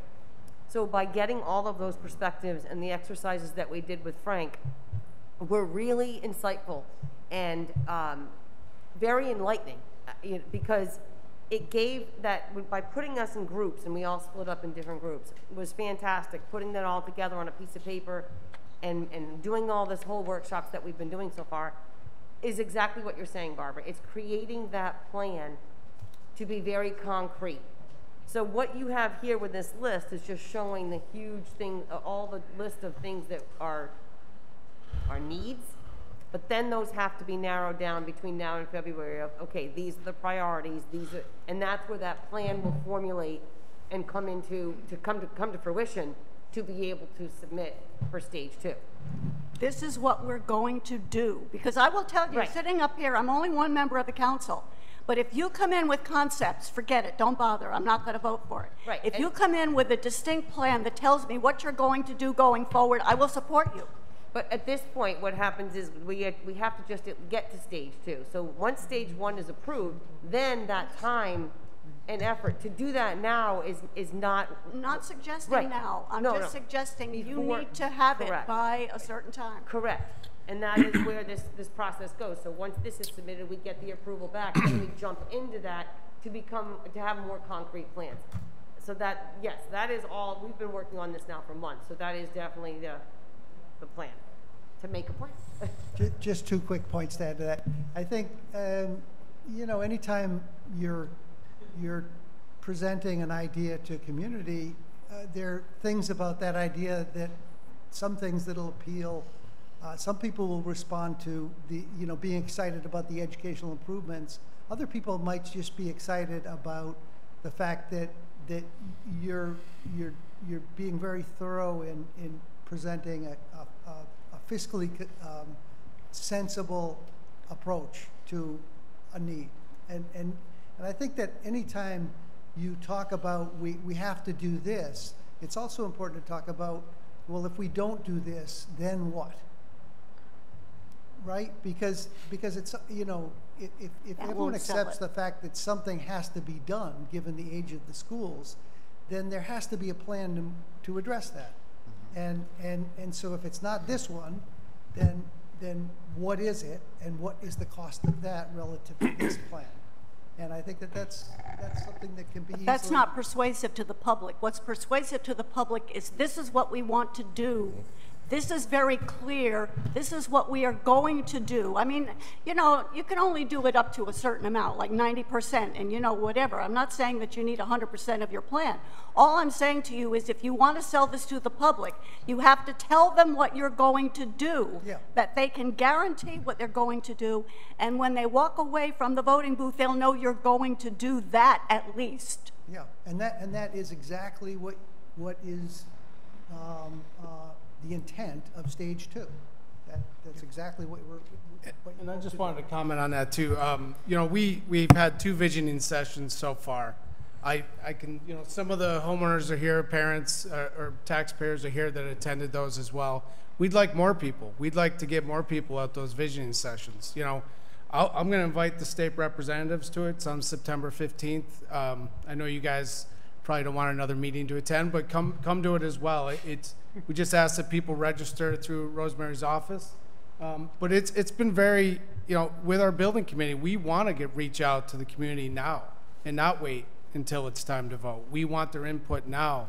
And, and any means we can get that, we're willing to do that. So, you know, we've had, I'd say on average, between 30 to 40 people at those visioning sessions. I think we need more people, in my opinion. There are 7,000 voters.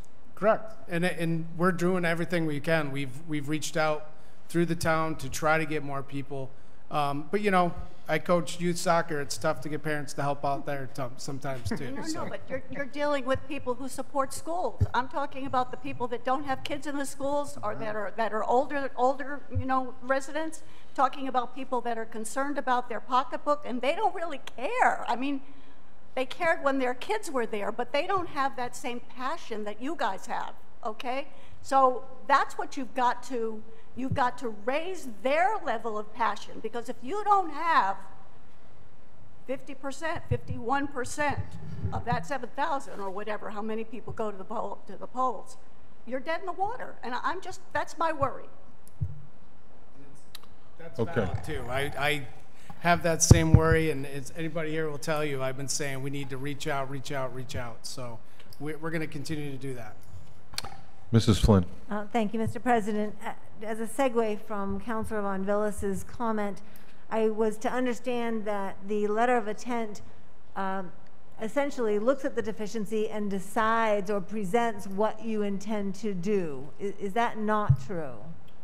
That is not true. So, Terry, can you repeat that? Yeah. uh, so I, I thought I had heard in conversation that the letter of intent that's due September 15th was the letter where you look at the defici- deficiencies and you decide which ones that you want to focus on. That was not correct for the letter of intent. The, the, the list of deficiencies is, accompanies the stage one submission, but it, it, in no way are you saying, "He- here are the aspects of that list that are gonna be addressed in this project. You, that, So that that comes in stage two. Okay, so my, So, yeah. So it will be this, this list. this whole list, And the ed- educational plan, uh, Dr. Locker's report on the vision that will, will be submitted.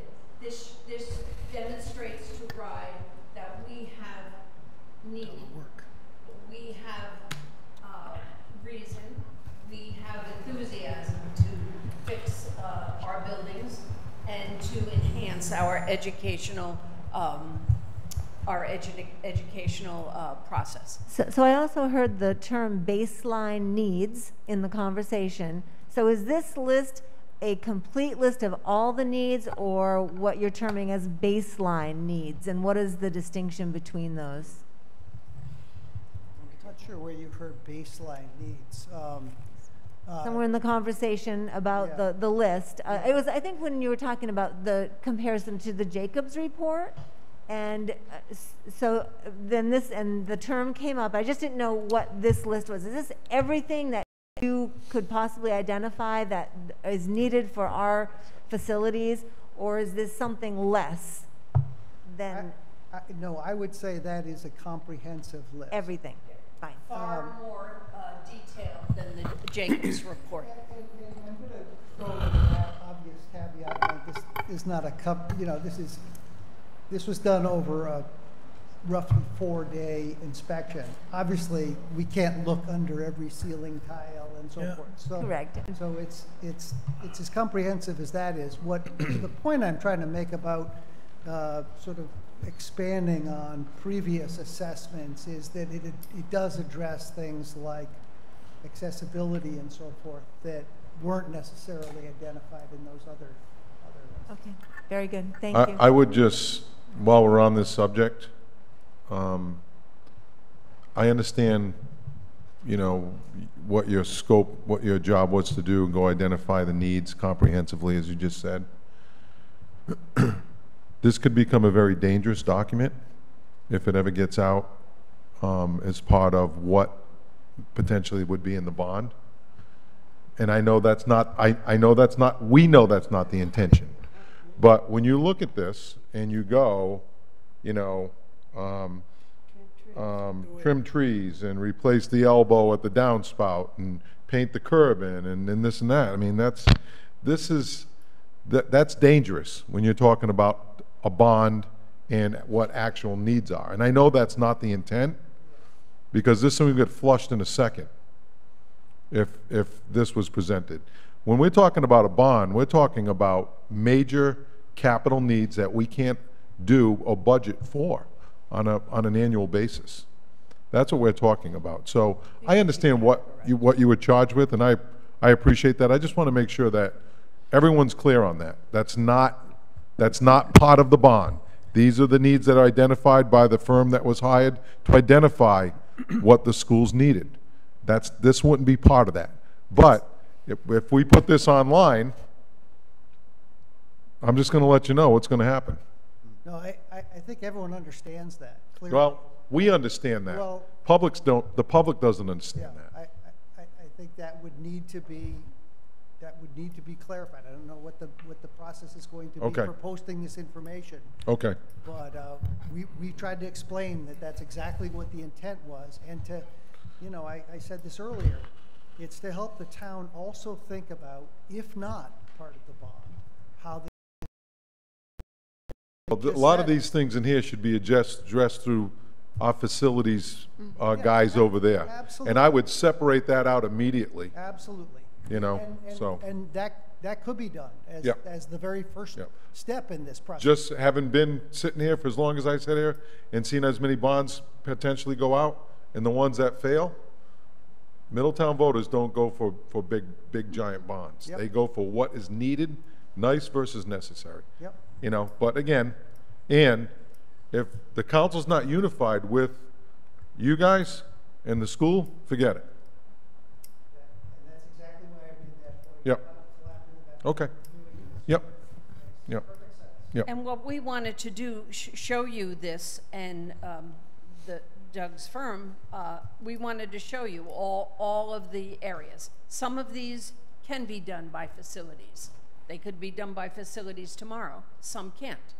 And when we would present this, they would be categor- categorized, mechanical, uh, I don't know, what are the other areas? Well, well, and most importantly, the, the stage Safety. two, when, Yep. when, when, when the, when the stage two scope is finally determined, this list will be itemized to correlate exactly with that proposed scope of work, and only that scope of work. We, we Ev- understand that. Everything else will be, you know, ho- hopefully planned for, but not included. Understood.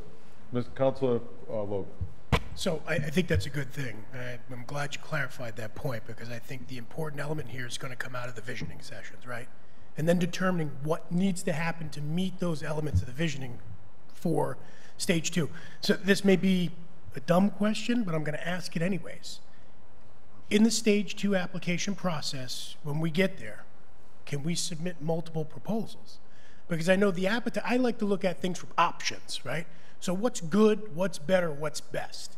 And I think if we're going to sell something to the public about how we're going to move forward, they're going to want to see those options up front. And I don't know what that process looks like, how we submit that to RIDE. Can we give them, you know, this is the baseline. Based upon the visioning of where we want to go with our school system, this is the baseline. But if we want to take it to that next level, here's that next phase, and this is what that costs. Now, phase three, this is the best option, right? This comes with the extra turbo wax and the undercarriage clean. You're getting sold a bill of goods in that case, but at the end of the day, but this is how we get to that top level. Do we have an opportunity in that application to put forward th- three models, or does it have to be just one? So I'm, I'm going to jump in here a little bit, and then I'm going to have others expand on that because I think there's an important point that may make that at least in part possible. So when we submit the stage two application, we we need to give an anticipated maximum spend so that the state can budget for that, and ultimately we need to figure out how much money is going to referenda because our overall number, whatever it could be, could be part bond funded, part capital funded, depending upon the capital available to support that. But at the end of the day, there's this little subtext in all of this that says, in these five years, we expect you to spend at minimum 50% of what you had asked for. So, by that logic, if you were to put in the premium model, knowing that you have at your option to back down if that becomes the will of the community, that potentially is possible.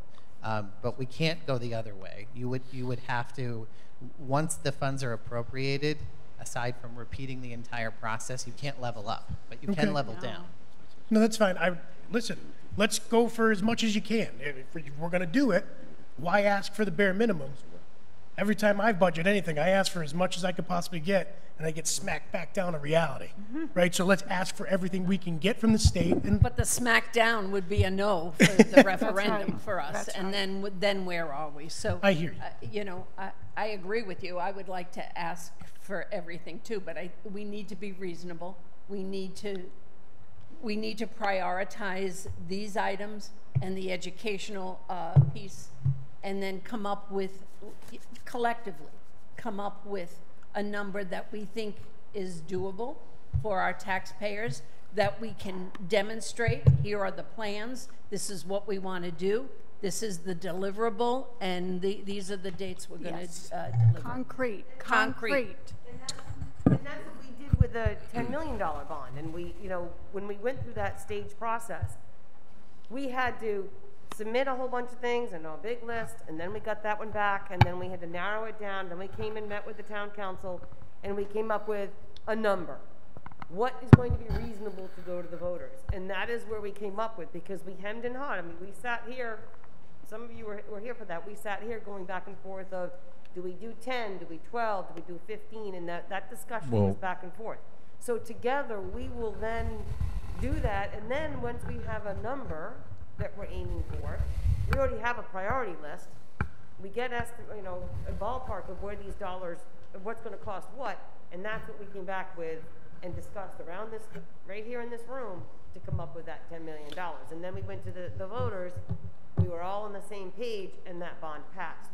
So it's that same process again that we're going through. on- It's just, you have to submit to, to RIDE first, and then we get to narrow it down, and then we have the dialogue of, okay, where do you think our community's at right now to okay. vote for X amount of dollars? So, so, ba- so what you're saying, Teresa, is based on the need la, the last time before with the ten million dollar, ten million dollar bond went out.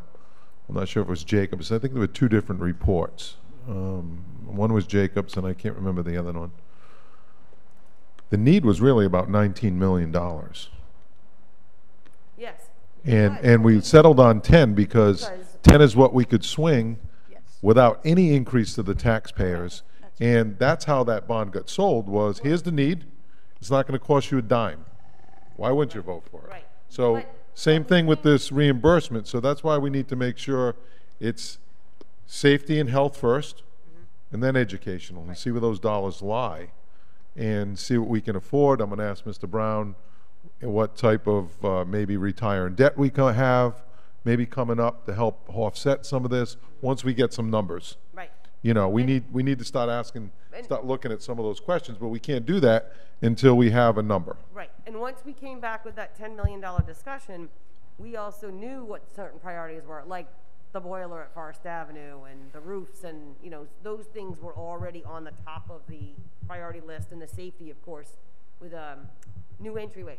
So those were definitely the top priorities, and then that's when the, the, the school and the town sat down together and said, okay, this is the money that we have available so that there will be no increase, um, in taxpayers, in tax, Okay. tax dollars. So, yes, I mean, it was a, a very long process, but it was very thorough and it was very thoughtful. And that's the same exact thing we'll do again. Um, but the submission of this is September fif- 14th, right? 14th? I, I don't, I gotta, I gotta be honest with you, I don't like the rush feeling. It's just. And- And I get it's a timing thing, I get it. I just, like I said earlier, we, we don't wanna rush this, we But wanna. here's the, and let me ask this question, and I don't So- know this answer. What okay. happens if we submit this and, and I'm asking this for you, because I, I'm thinking about this. I know we, this is on the ninth hour versus the eleventh hour, but we're close. Um, th- when, if, if this gets submitted and gets denied, then we're, we have nothing, correct? If this gets submitted and we, and we get the approval, it doesn't commit. So that's. No, I that's- understand that. That's what I was, okay, that was the question I'm asking. So that, I understand that what you're saying about Yep. the, the window of time and, Yep. and that this has to be voted on sooner than later. But remember, there's no commitments. It's just an intent letter of what, what needs the district. has. Understood. So I just wanted to verify, clarify that, Paul, because I don't want Yeah, people feeling no. I was gonna recap that later, and that was no- one of my, There's no yep, commitment to dollars at all at this point. understood, understood. Dennis? Okay, thank you. Um, Really great points. Um, You guys are checking off my list as you're asking these questions. But I do want to, want to go back to your presentation. I think you've put a great team together. I'm really like what I've heard about the outsourcing and bringing people in that are experts at what they do, and that that's going to give us a much more of a a view of the correct view of what is needed and what we have a better chance of having an, an on time and on budget project, whatever that happens to be. Okay, so congratulations on that. That's really, really good. Um, you know, that Jacobs report was a report that came out, and everyone banked on that report on a lot of decisions they made. And then, you know, as we went down the road, we found out, well, that report really wasn't as good as it was supposed to be, right? So it's like, okay. It served its purpose. it did serve its purpose. Um, And you guys did, you know, that $10 million bond was really awesome, and I think you guys did a great job with that. I think that it got applied to the things that needed to be applied to roofs and air conditioning units and entrances and windows and so I'm hoping that we got a good shot at that within the schools themselves. And then this round of money, because I do support continually investing in the schools, and because those buildings aren't getting any younger, technology isn't moving any slower, and so I do feel that this is really a good effort on the state level to get involved to help us put together a five-year plan and then being able to assist it. Uh, so um, I think that's really, really good. I am definitely going to be leaning towards projects that are going to go mostly towards education because I think that that's what is needed. There's more needing for the 21st century type of education versus painting a you know painting a side of a building. You know, right? So I like that. And we have other projects that we're looking at developments we're looking to do in the town. So we should keep that in mind in regards to, there's a couple here that are new construction that's coming up. And maybe there's some new construction we're looking to do as a, com- as a community to offer to the schools and to assist in new programs. So that's just on my agenda. So I'm excited. This, I'm excited for this. I'm going to sign off on phase one, and uh, I look forward to phase two. Okay. Mrs. S. Thank you, sir. You're welcome.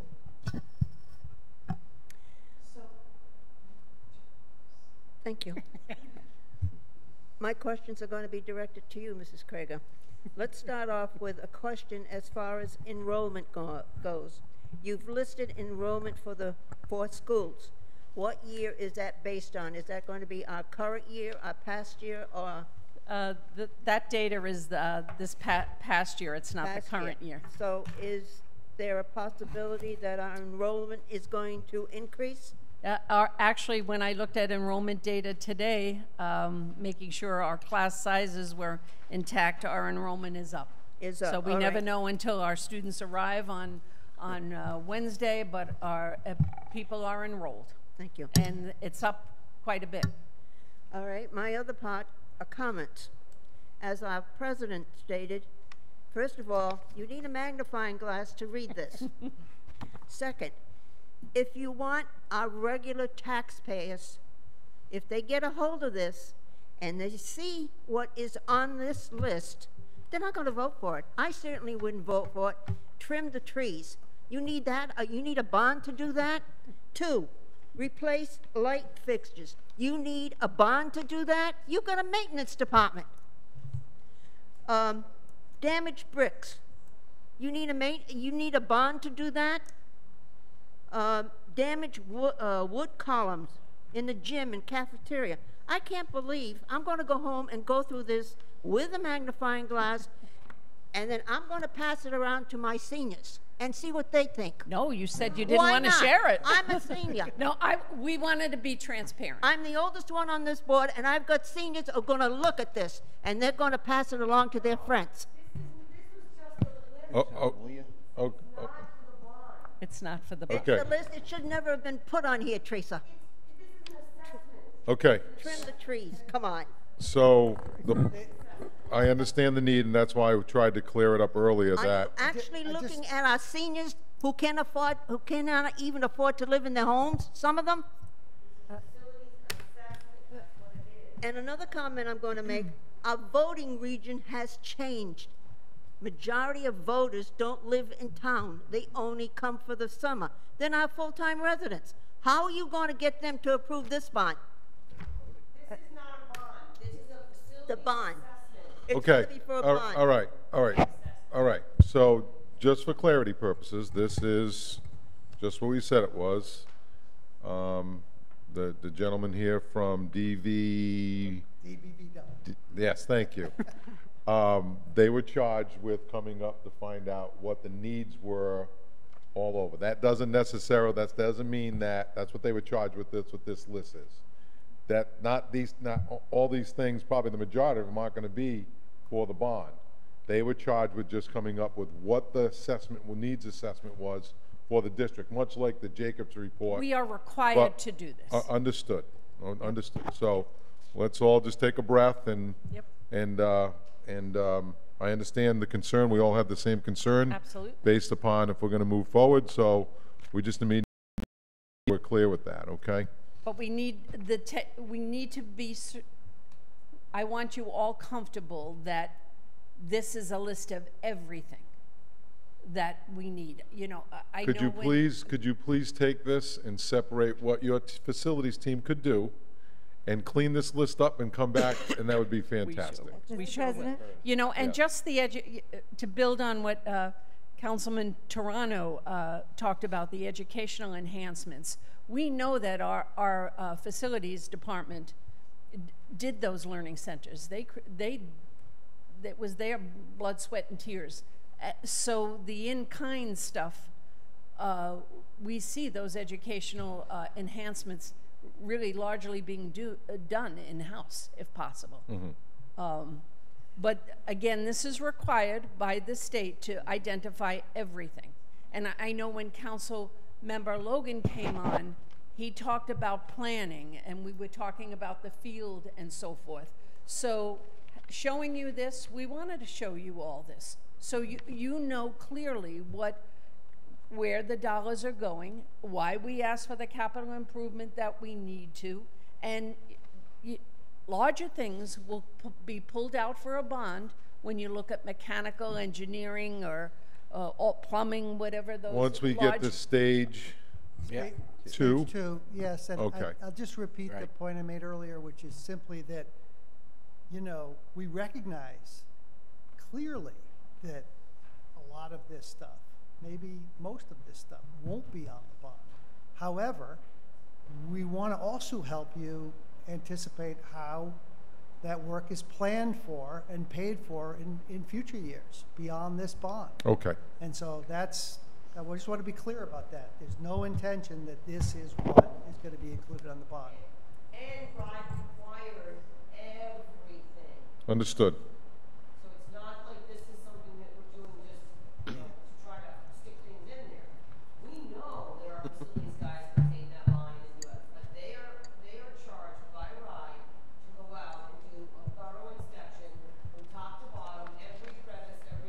Understood. Or And, and frankly, I think the taxpayers would applaud uh, us and the, collectively the town that we're, we're able to identify all of these things that need to be done.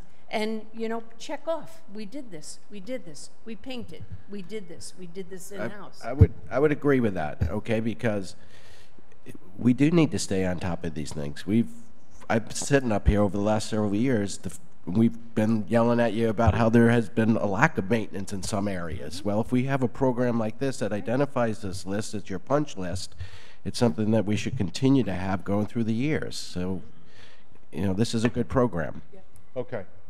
But Mrs. Let- let- Santos, let's I don't, just- I don't want to offend you with this or, y- you know, our senior citizens in the community.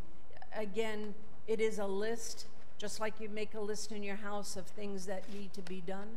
You know, the roof, you, I need to paint the, you know, I need to wallpaper, I need to do that. That, that's what this serves for, for a school system. Uh, You, please don't be offended by that, and I don't want to offend our senior citizens in the community. You are, you are offended. So, okay. I, I just want to Co- understand. Counselor Flynn. Uh, Thank you, Mr. President. I just want to make sure that I understand w- this document and the stage one submission. Did I hear correctly? The stage one submission is three pieces.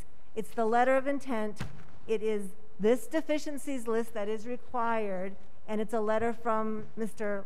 Loker or Laker? Locker. Three things. They are required, and that's where this came from, and that's why it exists. Right? Can I, can I jump in and modify that? Just I'm gonna I'm gonna give that a little tweak because it's Okay. mostly correct, but I don't ever like leaving anything hanging that isn't totally correct. So stage one essentially is a compil- compilation of all of those things plus some just baseline information about the district. So we're going to talk about the education that's provided to all of your students. We're going to talk about what the current enrollments are. We're going to be giving the state some baseline data. So when they're looking at the preliminary list of things that we feel that may need to be done at some point, they have context, right? And so the, the package ends up being actually quite large because it's it's it's basically a, a data-driven submission. But I, I think the heart or the root of the question is really because we're talking about an approval and a sign off from town council for September, what are you really signing off on and what does that mean? And, and I think um, we heard, we, you know, we don't want to feel rushed and we want to make sure that we're really in line with what it is you're putting forward. Um, and I, I can assure you that you are and you will be. And the reason I'm so confident of that is because really the only thing that you're signing off for, for with that letter of intent is we'd like to enter this process with the Department of Ed to the possibility that the state may want to give us money to help us do some things. And that basically is all you are supporting at this point. And so really it's just a, we'd like to enter the program, we'd like to be considered for state funding, we'll be giving you more information as we go. Okay. Mrs. VonVillas. I, I'm just wondering if you can put like a title on that page. Like, for example, if you, I don't know if you can do it, but mm-hmm. if you could call it like addendum, current existing issues. Do you know what I mean? So that it's very clear that it's not something that you're looking for. It's to your submission. We'll, we will, in general, clean it up in the way that you've all expressed. I, I think these comments are excellent. They're important. Um, I agree that we need the largest contingent of residents and voters to support you and us as we take this journey. And so, so yes, we will, we will find a way to address everything we've heard this evening. Okay. Can I just add one other thing? It's the state building authority who's going to approve this. It's not RIDE. RIDE is providing the recommendation to it. It's the state building authority who decides whether we can proceed on. I think the other thing to keep in mind is stage one, we're just identifying our needs. The work is in stage two where we develop our solution. That's where the rubber's going to meet the road. Okay. I have one question, Mr. President. Yes, ma'am. May I ask when this was developed? When did they come down and do whatever? Uh, During the month of July. This July? Yes. So why weren't the light fix fixtures changed? Why wasn't the tree tra trims, trees trimmed? Why wait for this report to have that done? Thank you, that's all I've got to say. Okay. Why not call it existing conditions as of July such and such? Okay. Right. Um, okay. They, they're gonna clean it up. Uh, Vice President. Thanks. Uh, Just two questions. One of them is, so as far as stage one goes, the only thing that's left is council approval, is that correct? More or less. So the team is continuing to compile all of the documents so that they're ready to go. Oh. The only thing left that we're asking of this body is council approval. And again, really, that is just that you're entering the process, potentially seeking funding. And I, and I understand And that, the school, thanks. co- the school committee needs to approve it as well. Okay, so, We, we will have a special meeting to do that. all right. So part of the, the process for stage one, and I'm going to summarize, it just says that you have to provide this list, and then you have to show over the last three years, your maintenance records, your plans, and everything that shows that you have been keeping up with this. So when I look at this list and I read that verbiage, I would say, is that going to fly?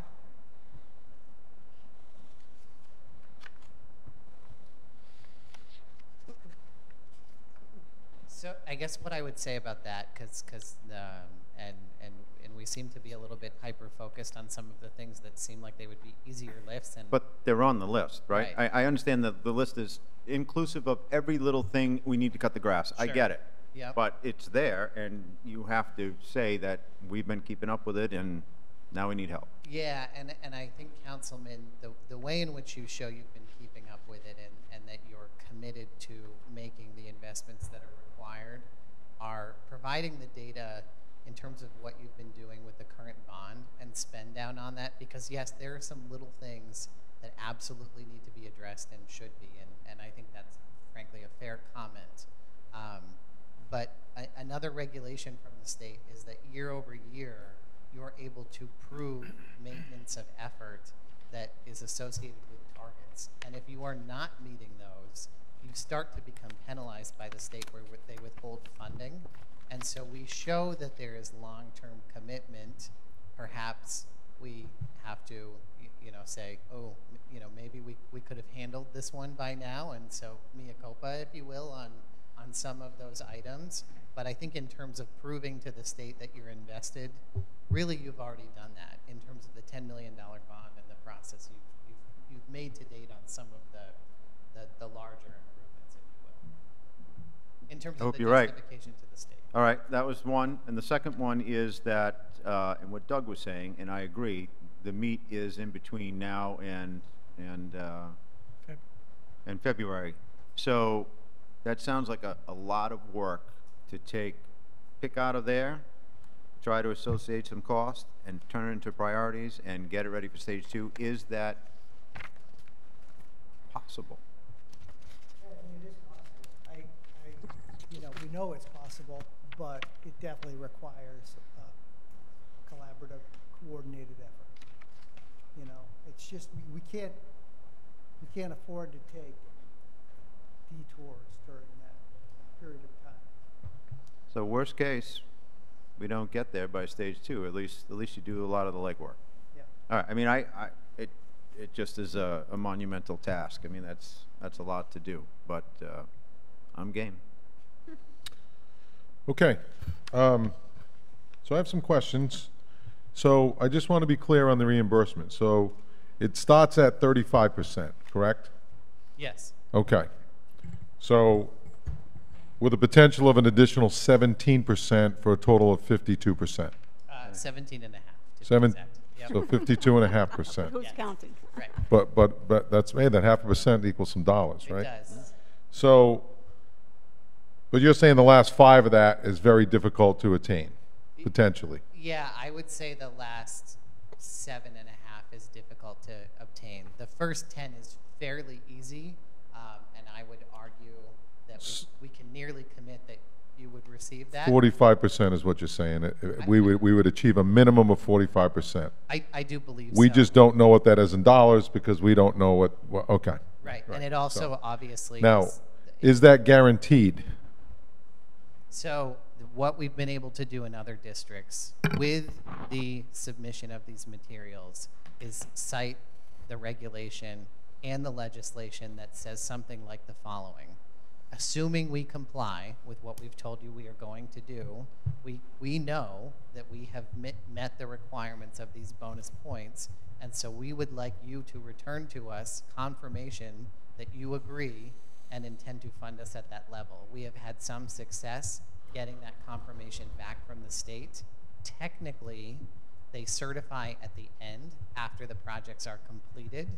And so typically, for purposes of safety, when we're talking to your financial advisor and bond counsel, we assume the minimum threshold. I think that's an important starting place because ultimately people are going to wonder about what the potential tax impact is. But we also want to be able to say that very likely we can plan to do much, much better because we're talking about 10% right out of the gate. So your financial advisor and town administrator will be able to look at both models. Um, I, I but- don't want to cut you off, but I think you're missing my question. Yep. It's a no. Is it the, even the thirty-five percent guaranteed? The 35% is. is Because I've seen the state do some funny things over the years. Sure. The, okay, I, I get it. I, I see where the question is coming from. So, what I can say about that is, to the best of my knowledge, while this is subject to the state budget, I am not aware of the state ever kind of pulling back on their commitment to school construction once it's out there. There was a moratorium for a while, and so school projects couldn't be put forward. But in terms of your essentially in- entitlement in this program, this, the state has never reneged on that, and I don't see Okay. any reason why they would. Okay. So are all these RIDE, are, are the RIDE requirements tied to the reimbursement? Is that what this is, is about? Yes. Yes. Okay. Um, what does the educational planner do? Because if we're gonna focus on health and safety first, and we look at those dollars and it's, wow, or it's not, and then you can include some educational improvements, what, what does that person do? Uh, Well, part of. Because th- their vision of what? the educational planner really listens to the community. Part of this visioning committee, about 44 members, we do want more, about what, uh, and teachers are on this committee as well, needed for uh, teaching in the 21st century, like collaborative groups, uh, centers uh, similar to Forest Avenue and uh, uh, um, Gaudet School, uh, new labs, a bump out for our career pathway. You know, those are the th- themes that are emerging. So he takes those ideas and will work with our architect to do some con- conceptual drawings, and, and it would be part of the plan when we go forward with a, a, a phase two. Is that a RIDE requirement? Yeah, yes. Okay. So you said the priorities, first of all, is the capital, right? The health and safety, the capital for the health and safety. Yes, And and, then get, and get the bonus, you want, you want to at least have several uh, educational enhancement uh, projects in. And that's the ten percent you're referring to? Right. To get to the 10%. And then Okay. w- w- what we might, what stays off the table in terms of the deficiencies or health and safety, w- we've identified them for the capital, our five-year capital improvement. So that when you, as a council, take a look at our five-year plan and capital improvement, we have it staged out by year, what projects that are not part of the bond that we would want to cover in a capital improvement plan. Okay. Um, So you mentioned, and you and I had talked on the phone a couple of weeks ago about the, you partnering with the old Newport Athletic Club for auditorium. And I understand why you would do that, want to do that. I always, I always think if we can, if we can get a cost on what it would be, we can control what we can control, because you don't know what that partnership could be in five, ten years down the road. So they could just say, hey, you know what, we're taking a different dir- direction, or they could sell the building, or whatever, and then if we decide to do something then, it's gonna be a lot more expensive. So I would just like to see what a cost would be, um, with an auditorium. If we're gonna do this, I mean, I would like to see what the potentials are, and then we can prioritize and say, you know what, that's, that's way too much. We, you're right, we gotta cut that out, maybe somewhere else down the road. But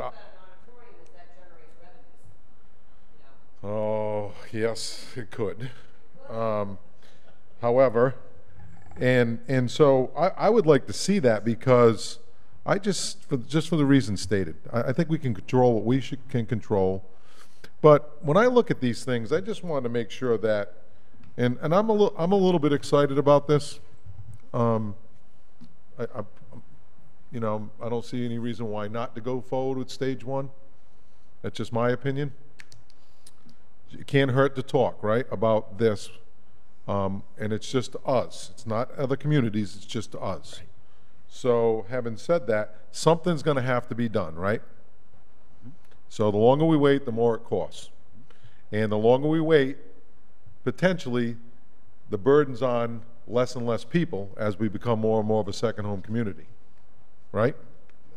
So we need to look at those things, those, some of those things that may be hidden that we can educate the, the public on, okay? Having said that, um, you know, it's, to me, it's always nice versus necessary. Um, Isn't it the other way around? necessary versus nice, you're right. Thank you. I'm thinking ahead, so what I would really like to do is I'd, I'd really like to, and I think part of Charlie and, and and Ed, what you guys should do as part of your group is, maybe, I'd like to see some of these things myself, you know? Um, so I would like a tour of the, of what we're talking about. I know we've done it years back. I'd like to see it now, because you're right.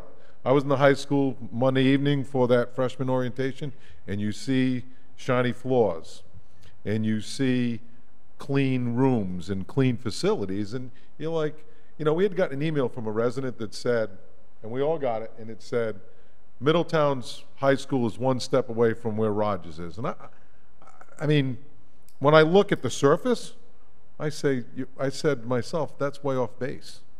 Um, But when you see with your own two eyes, maybe you have a different perspective. So I think maybe that's, you have some type of open house, you have some type of meeting there at the facilities where you invite the public and advertise for that, and come see for yourselves. You know, once the, once the plan gets to stage two, if it gets that far, which I don't see why it wouldn't, but I'm just one person, um, you know, once those things are identified, then you, because I think people are very visual. What am I going to get here? What are we doing? Why? What's the real need? When you see it with your eyes, it's a lot different than when you just hear it. Oh, they're asking for money again. You know, I mean, there's a big difference there. You know, so, um, you know, it's like when you hire a contractor for your own home and you say, I want to replace this, and they start opening up and go, well, we're going to stop right here because here's what's really underneath. And here's what really could be. and if you don't do it, this is what's going to be down the road. Just letting you know. Whether you do it, or, do it or not, that's up to you. So, um, but I do want to say my long-term concern is, you know, bonds are uh, help immediate needs or needs that haven't been able to be taken care of for whatever reasons, whether it's, you know, budgeting issues or what, and that's usually what it is, right? Affordability. They fix immediate needs, but they don't solve long-term maintenance needs. And even if something, I, I think we always try and, we're making decisions for years and years down the road in a lot of things we do, whether it's this or anything else. And what we need to be mindful of is, if something like this does fly, what's the long-term plan to, to, to maintain it? That's more, that's just as if not more important. Well, we're required to put So the building committee, something like that, they go away because, you know, if this thing passes. I think that's something that me, we might need to look at. And not only that, but there has to be, and you and I had the discussion of revenue. There has to be, and I, I know some councilors have some ideas with revenue coming forward. Once we get more of an idea of what this cost is in stage, phase two or phase three, then we can start putting together, you know, questions to Sean like, you know, what debt is retiring? Our police station is, I don't know, we, we floated that bond in two thousand six. Um, so, you know, we're getting close, er, to paying that off. Um, you know, what are the, what are the, what are the retired debts coming forward that may be able to help us with something like this? Now, some of the questions about reimbursement are, where, where does that reimbursement money go? Does it go to pay off this debt? Or where does that land? Because that's important to know. Certainly in my decision going forward, if it go, goes back to the school to do something else, that doesn't fly with me. If it goes back to help paying this debt off, that's where it should go. And I'm not sure. That's what it does. Okay. It does. It- Okay. It pays down your debt. Okay. Okay. Can you sign that and send that to me, please? Um,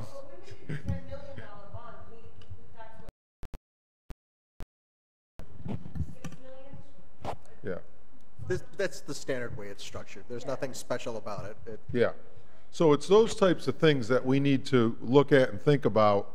Um, but again, if we're not unified, once we, once that decision is made, I mean, we can disagree on certain things at the end of the day, but we need to look at what's best for the community as a whole. Not what my personal opinion or I want, or you may want or not want. That's not what it's about. It's about, and I'm not saying that's what it is. I just want to make sure that's out there on the table. You took my closing statement, which. I read it. I got a copy of it before you, no, yeah, sure. You got those notes, which really says we need to be together on this, a Yeah. coalition of Middletown. Yep. To do, uh, to do the right thing for a path forward for our town. We have, we have a new police, we have a new fire, we have great athletic facilities like, you know, now, now the schools are. One, one last thing, and this is not, certainly not a dig. I've always said it, whether it was, we were talking about unification, or we were talking about any type of money we put towards the schools, or anything we do.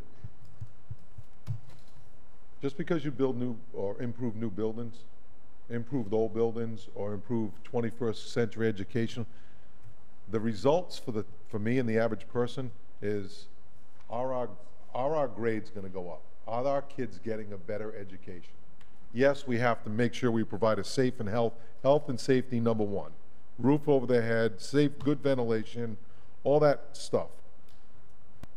The educational piece is, is there going to be better results? Just because you build a new building or, and I'm not saying we're building a new building, let me take, let me retract that statement. Just because we improve our facilities, are we going to get a better education? That's what, because I think we have a great education, and this is just my opinion and what, what other people have said to me in our elementary schools. I think where we're at, at the high school and up, I think that's where we really need to focus. And I think what I saw the other night from the principal of that, Dr. Heath, um, I think we're heading certainly in the right direction under his leadership. So that's my spiel for tonight. Does any councilors have any further, any further questions? And yes. Um, I just want to comment, that's exactly why the, Ro- Rosemary had said things about the labs, you know, improving our labs. Because of our Project Lead the Way programs and the biomedical, those science labs and the- those improvements of those labs are going to really enhance that program. And potentially other science programs that we could bring into our school for PLPWs, which bring students into our buildings to get an education under our, in our district, at the high school.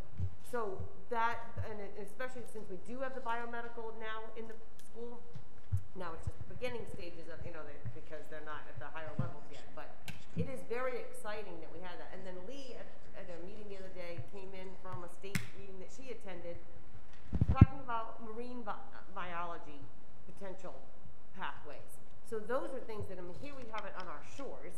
We could bring something like that, that kind of pathway into our district, which would just be phenomenal. Again, prepare, preparing the facilities to be able to house a program like that and provide our students an education in a pathway is for, you know, career or college readiness is, is a very exciting thing. That's the goal, is to make our high school, our middle school, the open, the segue to it, and then our high school really preparing our students for college and career. Yeah, and I, I don't know what the plans are, but I know there was some talk of, and I'm glad you brought that up, Teresa, because I know, I think at the last meeting, uh, Charlie, when you came forward with this, was, um, talk of maybe some type of, um, facilities or improvements in the trade areas. Because that's, you know, I mean, that's, that's where a lot of, I know selfishly, I know that's, m- my son is, is, is, will, will go towards, at least that's what he's, his, his abilities right now are, um, he's very interested in stuff like that. And I think, you know, in, in, when, when George Bush, the younger Bush was the president, I think the No Child Left Behind Act was, the intentions were good, but I think there were some unintended consequences with every kid going to college. And, and that's just, we realize now that's not the case. We can all be Monday morning quarterbacks, right? That's not the case. It's more of, you try and get an electrician, plumber, any type of trade now, you know, it's great money for those folks and they deserve it because they work hard, but you can't get them. So, So those are the kinds of facility enhancements that we would be able, you know, that, that's the goal that we'd be working towards. Not necessarily in this particular process, but again, enhancing the building to set up those kinds of programs. Because you're right, not all students are college, they're- are college, um, bound. But we do need those other careers because it's important. You need mechanics, you need the, you know, the el- electrical and the plumbing. So those are things that you'd be able to set up. and maybe if, maybe, maybe someone would partner with us for an auditorium. You never know. I don't know if that would fall into these RIDE requirements, but you never know. Yeah. All Okay. right, all right. Uh, I know Charlie's going to talk a little bit about, we're on the agenda for Monday or Tuesday. Mr. Roberts. Yeah, um, so yeah, I, you know, hearing a lot of this, I, I hear what you're saying, Ms. Santos, too, as well. Like, I think we need to reach out to more people, get their input. I think schools, in my opinion, should be the center of our community, and we should welcome the community into our schools as much as we can, doing it safely. Um, I think, you know, we have a lot of information we presented to you. We can offer up more, anything you need. If you want tours before Tuesday's meeting, town council meeting, let us know. Um, the whole RIDE application. I've sent links, but we can provide that to you as well if you if you want to dive more into that that whole process. But you know, I, we we just asked that you um, you know consider this letter of intent, vote it on Tuesday, and and hopefully vote in approval so we can at least get in the game and and you know take advantage of this opportunity that may not be there forever. So, um, thank you, Charlie, um, and Ed, and the committee, and, and the school, um, administration, the depart, and school committee, but I think the, uh, I'm, I'm, I'm certainly not looking for a tour before the next council meeting. Um, sometime between September and, and February. Yeah. Would like to be able to, you know, get my eyes on exactly, I mean, you can look at it and, and say, well, okay, but when you, sometimes when you see it and explain to you, it's, it's a different story, so. Yep. We we want to be as transparent as possible with I- you. I- I- I'm sure you do. So uh, any Yep. any questions you have, reach out over the weekend, whatever. We're we're here to, to Okay. answer. I- I, I just want to be clear, our school committee hasn't voted on stage one yet. Uh, we will have a special- Our school committee hasn't voted on the stage one yet. We will have a special meeting for that. So the other piece is you've heard all the elements that go together for a report to submit for stage one. We're still piecing those together. Um, Certainly, if you wanted to vote on a stage one without that full document on, on Tuesday, trusting all the things that you've heard, we would put that together. That would be appreciated. But also, that's why I mentioned to you a special meeting for the town council, so you could really see the whole packet together. So, um, I want to make sure we're clear. So Mr. Brown had talked to me the other day about, you know, Rosemary wants you to have a special meeting because, um, you know, everything's not in order yet. Mhm. And, and I, my response was, I don't want to have a special meeting till I hear what they have to say at this meeting. Mhm. Why, why go forward if, you know, um, if you don't like what you hear? So, having said that, can you just repeat what you were talking about? You don't have all the So what pieces? We won't have all the, um, I, I'm gonna go to Colliers I- to talk. I'm happy to talk about it. So, as I was explaining, You, you look thrilled. I, I, I'm in night meetings almost every All right. evening, but, but I, but I love it. It, it really is amazing work to be able to support the schools across the state of Rhode Island. Having said that, in terms of what we're asking for, again, what Rosemary is explaining is there's quite a bit of baseline data that sets the context for the state. And so if you'd like to see what becomes a fairly large binder, likely of information complete to take the vote, then perhaps a special meeting is appropriate. But again, Yeah. what really we're asking you to approve is that you're entering into this program possibly seeking funding. And so if you're comfortable making that statement, because that's really what you're signing off on, then you could probably make it as part of your regular agenda. We wouldn't have the full book for you at that time. We can certainly provide it after, but, but that's, you know, your decision to make. But it, it, essentially, it's just the final collection of all the datum points that we send into the state. Mrs. VonVillas. I, I just have a problem with the town council approving anything that has not already been approved by the school committee. So we, uh, we could have a special meeting on, uh, Tuesday. Uh, well, we were scheduling one Friday, but we, um, well, I, I, Will you be ready? Is it on the agenda? No, will, will you be ready? Because you said you had to do certain things before we do have to do certain things. The school committee would approve it, because I know, I know you would want the school committee to approve it Yes. before the town council. That, that's just proper protocol. Um, we would, uh, the, we've missed the Friday date for, uh, posting.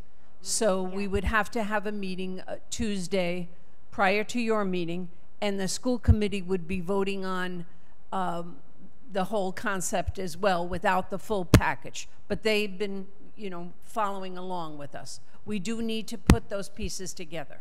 When, when will you have the full package? We would have it by, uh, I'm going to ask our people. Huh, Doug?